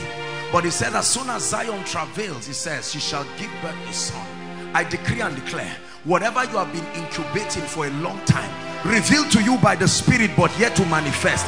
There is grace for performance, and I command that you must have a manifestation now. I decree it, I declare it by the power of the Holy Ghost. Manifested blessings, manifested miracles. Hallelujah. I decree and declare where you have to struggle for everything, labor for everything. I open you up to a dimension of prepared blessings. I open you up to a dimension of prepared blessings in the name of Jesus Christ. I don't know who has despised the grace of God upon your life. He said, and Jabez was more honorable than his brethren. I prophesy to you, may an unction come upon your life tonight that will distinguish you. I decree it, I declare it. May an unction come upon your life tonight that distinguishes you in the name of Jesus Christ. Bible says Elijah told Ahab, saddle your ass and run, for I hear the sound of the abundance of rain. And Ahab was already light years ahead of Elijah. But the Bible says the hand of the Lord came upon Elijah and all of a sudden he started running on barefoot. Listen, the Bible says that the disciples were six hours ahead of Jesus moving on their boat and Jesus got up and started walking on water. There are many of you, there are several things that have limited your pace. I want to prophesy speed for you. There is a grace that makes men to pursue, to overtake, to recover. I speak to you in the name of Jesus. As I pray for you, the anointing of God will come on some of you and you will want to run physically. Please hold them. I release that grace, that grace for speed. Receive that grace now. Speed, speed, speed. Balata. No delay. I command speed, speed of accomplishment, speed of accomplishment in the name of Jesus Christ. Hallelujah. Isaiah 6 it says, Arise, shine, for your light is come, and the glory of the Lord is risen upon you. It says, For darkness shall cover the earth and gross darkness the people. It says, But upon you the glory of the Lord shall arise. Verse 3 says, Gentiles, you won't look for them again. Gentiles shall come to your light, and even their arrogant kings to the brightness of your rising. It says, Where you have been deserted so that no man passes through you. I will make you an eternal excellency and a joy of many generations. I decree and declare from today, every gift you have, every dream, every ability that is dormant and not being blessed and rewarded, I command Gentiles to come to your light now.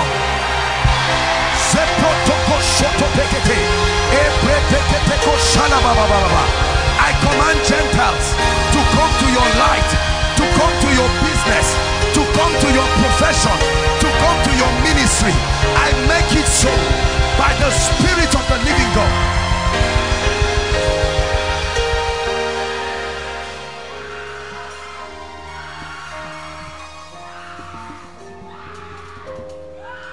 Hallelujah.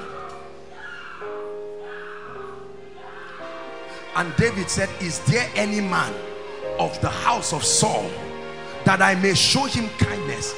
And they went to bring a crippled man called Mephibosheth. And when he came, he sat down with David and he says, You will continue to dine with me here. In the name of Jesus, where your strength cannot take you. Kapratikata. Where your current level of achievement cannot take you. I decree and declare, may the hand of God that picks a man from a dunghill to a place of prominence, may that hand pick you to the next level of your life. May that hand pick you to the next level of your life.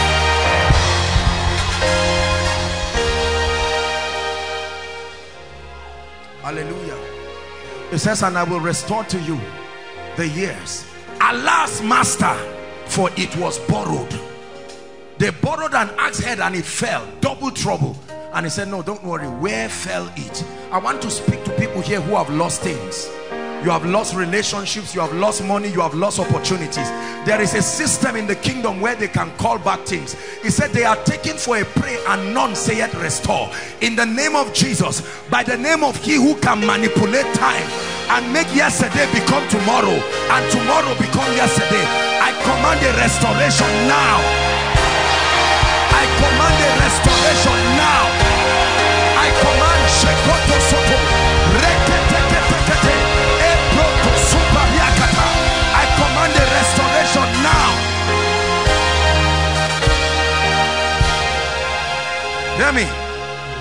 Anyone here called jobless, you are looking for a job or any of your loved ones.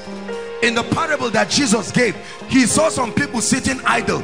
He said, why sittest thou idle? He said, no man employ us. And he said, go to the vineyard. When he speaks, there is always a job. In the name of Jesus, I create a space for you now. In the name of the Lord Jesus, I create a space for you now.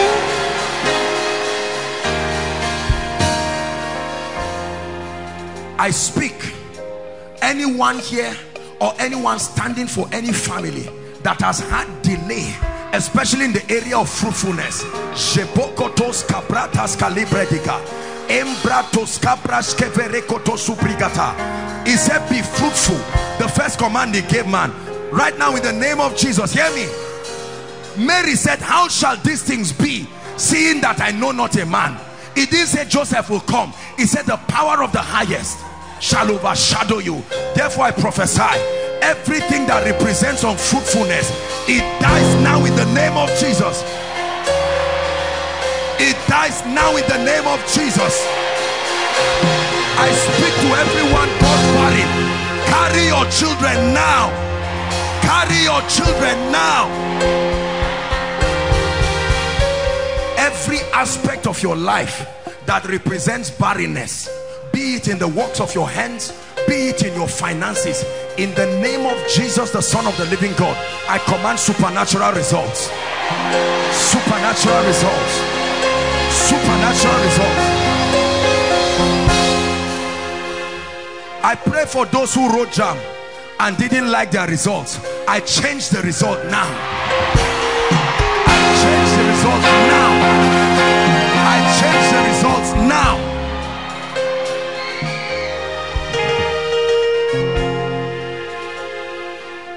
hallelujah.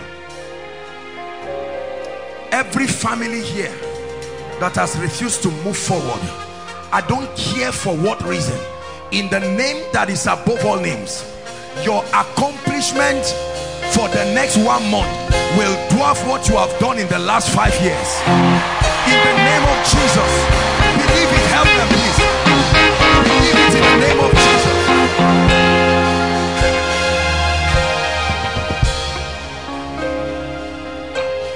hallelujah. This is one of my favorite blessings to people. The ministry of destiny helpers I discovered brothers and sisters hear me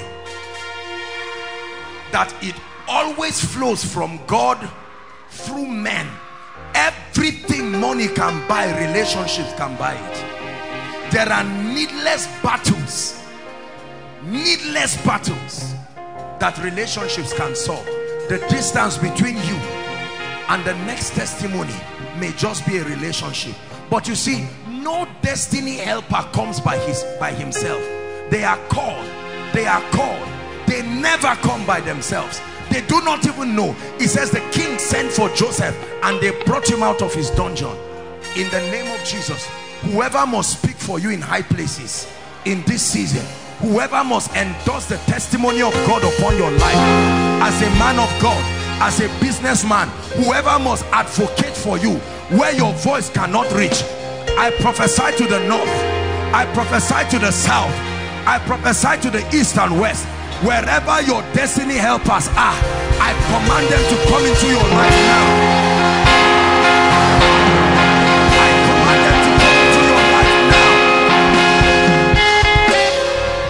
hallelujah. Listen. I know a woman years ago when we held our crusade in 2009 in Abuja it was her camp that we used. She's not even educated but she had access to two people a very wealthy family that needed a miracle. And she prayed for them and they became destiny helpers. Let me tell you something. The easiest way to be wealthy is through relationships. Somebody can get up by the spirit and make you a partaker of his blessings. Are we together? Now we've discussed on finances and all the principles but brothers and sisters there is a dimension of speed that God can give a man. And this is to help you be established fast so that you can focus on the purposes of the kingdom. There is this spirit that makes people to be established so late. It's not that they are lazy you cannot be established over 100,000 per month. Believe me. You cannot be established over 50,000 per month. You are too generous to even keep that money. And whilst you give God will orchestrate men but we have learned that Satan can hinder them. And pray specifically for finances. I want to invoke the mystery of divine supply. There is such a reality like supernatural provision. This ministry is a, is a tearsome testimony of what happens when men covenant with themselves to make sure you rise. He said men came to david in the cave of adullam. Entered a covenant with themselves that they must make him king. You don't need plenty people. You just need one person anointed and directed wherever your financial helper is. In the name that is above all names I declare that between now and the next two weeks of June may they appear in your life. May they appear in your appear in your life.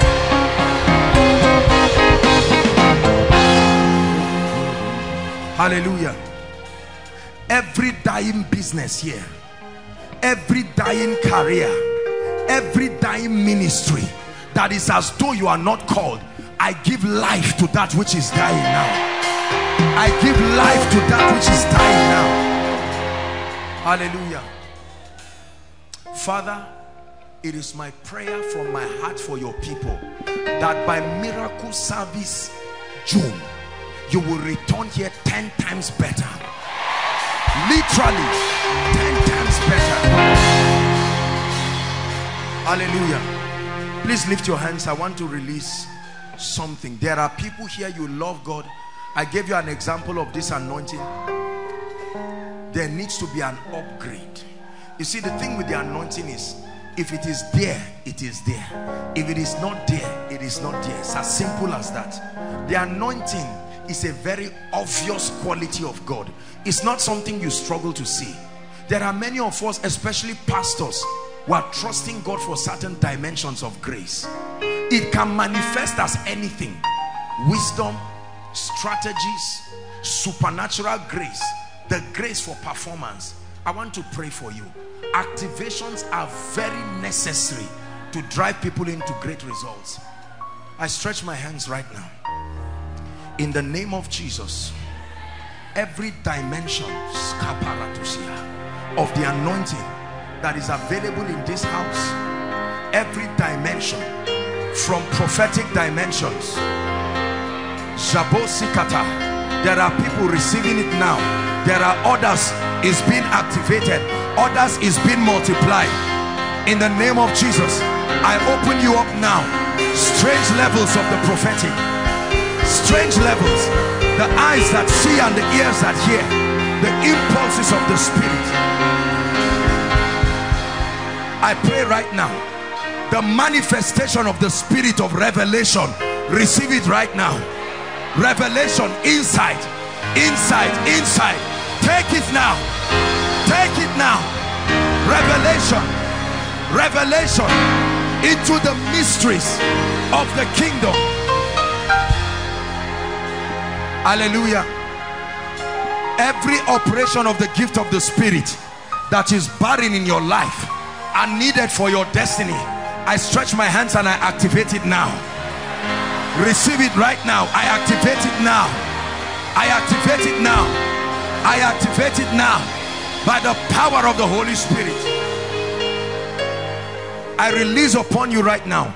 Fresh mantle for leadership.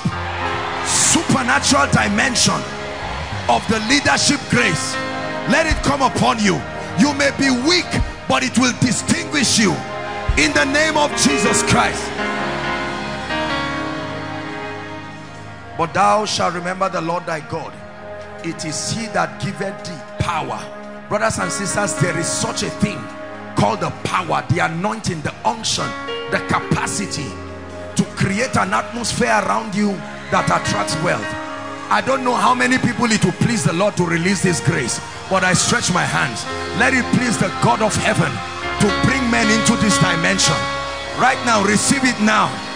The power to prosper the power to prosper. You may be weak but the power to prosper.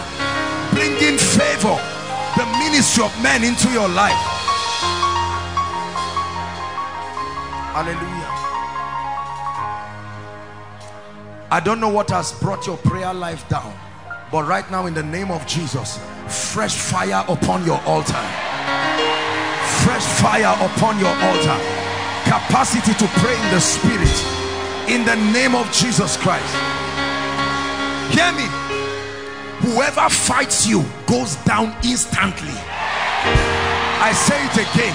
Whoever fights you whether in the secret or the open goes down instantly.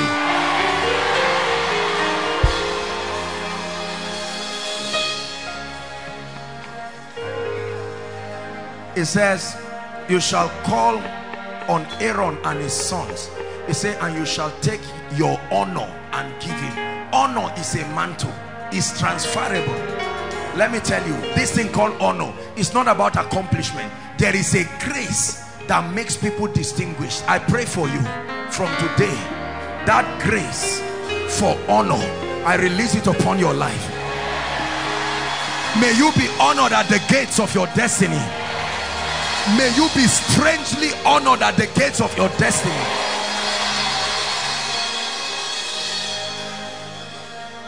Whoever has said over his dead body for you to move forward, tonight may their prayers be answered.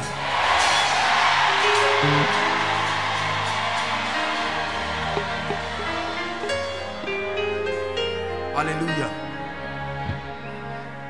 Two more prayer points and we're done. I pray for your family. We believe in family in this place. No matter how lifted you are, if your family is not lifted, he said, as for me and my house, we believe in family. We pray for our children, whether in the womb or born. We pray. I prophesy over every family here that the devil is trying to corrupt the testimony of God's faithfulness. Tonight, in the name of Jesus, supernatural lifting for every family. Supernatural lifting for every family. Supernatural lifting for every family. Supernatural lifting for every family. And finally, I pray for you in a way you have never seen. Whoever looks at your face, I compel them to favor you. Listen, the Bible says Esther found favor on everyone that looked at her. For as long as you made contact with Esther and you looked at her face, you were compelled by an anointing. Believe me, I have seen this thing work in my life. I prophesy to you, men who have no business blessing you as they look at you, I compel it from their spirit. May they bless and favor you. May they bless and favor you. May they bless and favor you.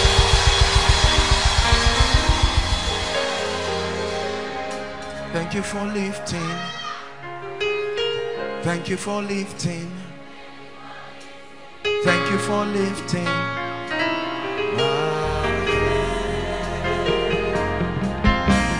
Thank you for lifting. Thank you for lifting. Thank you for lifting. Thank you for lifting. Thank you for lifting. We're rounding up, but the Lord is giving me a word here. The Lord is speaking to a family here, and He's saying, I should tell you, it will be like a dream. When in three weeks, He will change your life. It will be like a dream. 21 days, in three weeks, He will change your life. Whoever this is for, I release it to you. In the name of Jesus Christ. The Lord is also speaking to one person. You are going to start a business next month on the 5th and I'm seeing before 31st it has made you a millionaire. In the name of Jesus. I'm not motivating you. I'm speaking as the spirit is giving me unction.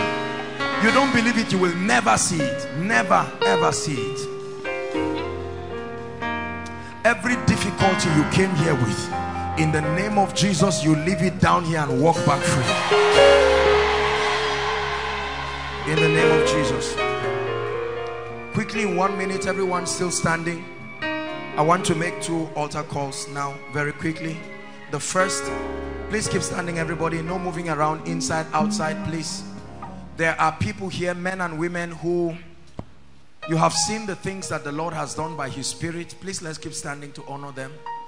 And whilst you watch the power of God move the Holy Spirit began to convict you that you need to belong to this family of faith the family of the Lord Jesus Christ you are saying, man of God, if you will pray for me, I'm ready to completely surrender my heart to Jesus. I don't care how many times you have come out in response to an altar call. The second category of people who will join them are those who at one time you have made commitments for the Lord Jesus Christ, but you have found yourself derailing in many ways and you're saying, man of God, if you will lead me, I will run. I will run. Run to Jesus. Now, these two categories of people, I know there are people outside overflow one, two, three, wherever you are, please, our time is gone. I want you to run like there's fire on the mountain. I'm going to count five. Wherever you are, leave your seat and run now. Please clear the way for them. One, quickly. Quickly. Let's honor them as they come. Quickly. Run to Jesus now. Please, quickly. Inside, outside, young and old. Quickly. Quickly. I have decided to follow Jesus. No turning back. Run to Jesus. No turning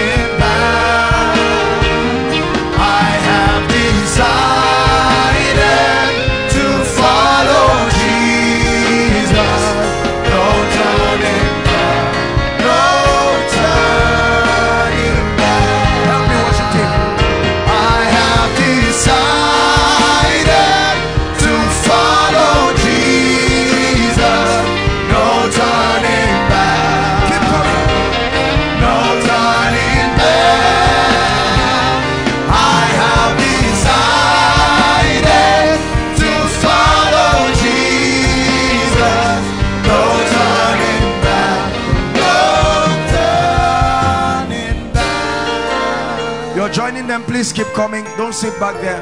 Now look at me, brothers and sisters. I appreciate you for this great decision you have made. The Bible says, as many who will come to him, he will in no wise cast away. When you come to him, he has the power to make you. You have no ability to change yourself, but you have the willingness to hand over your life. I want to pray for you. Listen, I don't want you to just recite this as a poem. I want you to mean it from the depth of your heart. Standing before Jesus, the firstborn among we the begotten, and his holy church. I want you to make this confession from the depth of your heart. Lift your right hand as a symbol of surrender and say after me, Lord Jesus. Say it again, Lord Jesus. I believe in you that you died for me. You shed your blood for me. You rose again for me. Tonight, I willingly receive your life into my spirit. I declare with my mouth the Lord Jesus and I confess with my heart that God raised him from the dead. I declare right now that eternal life is mine. I receive it into my spirit. I'm free from the power of sin, the flesh, and Satan. From today, I move forward ever and backward never. In the name of Jesus. Keep your hands lifted. I pray for you. Spirit of the living God, you represent the presence of Jesus. Now in the name of Jesus Christ, I'm praying in a very supernatural way. Spirit of the living God, by the power of the Holy Spirit, let these ones never be the same again.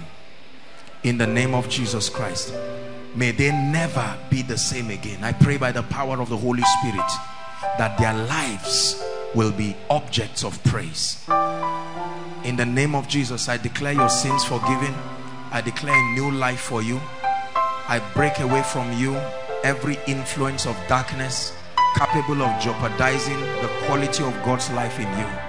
I release you to be victorious. I make you victorious by the power that is in the name of Jesus.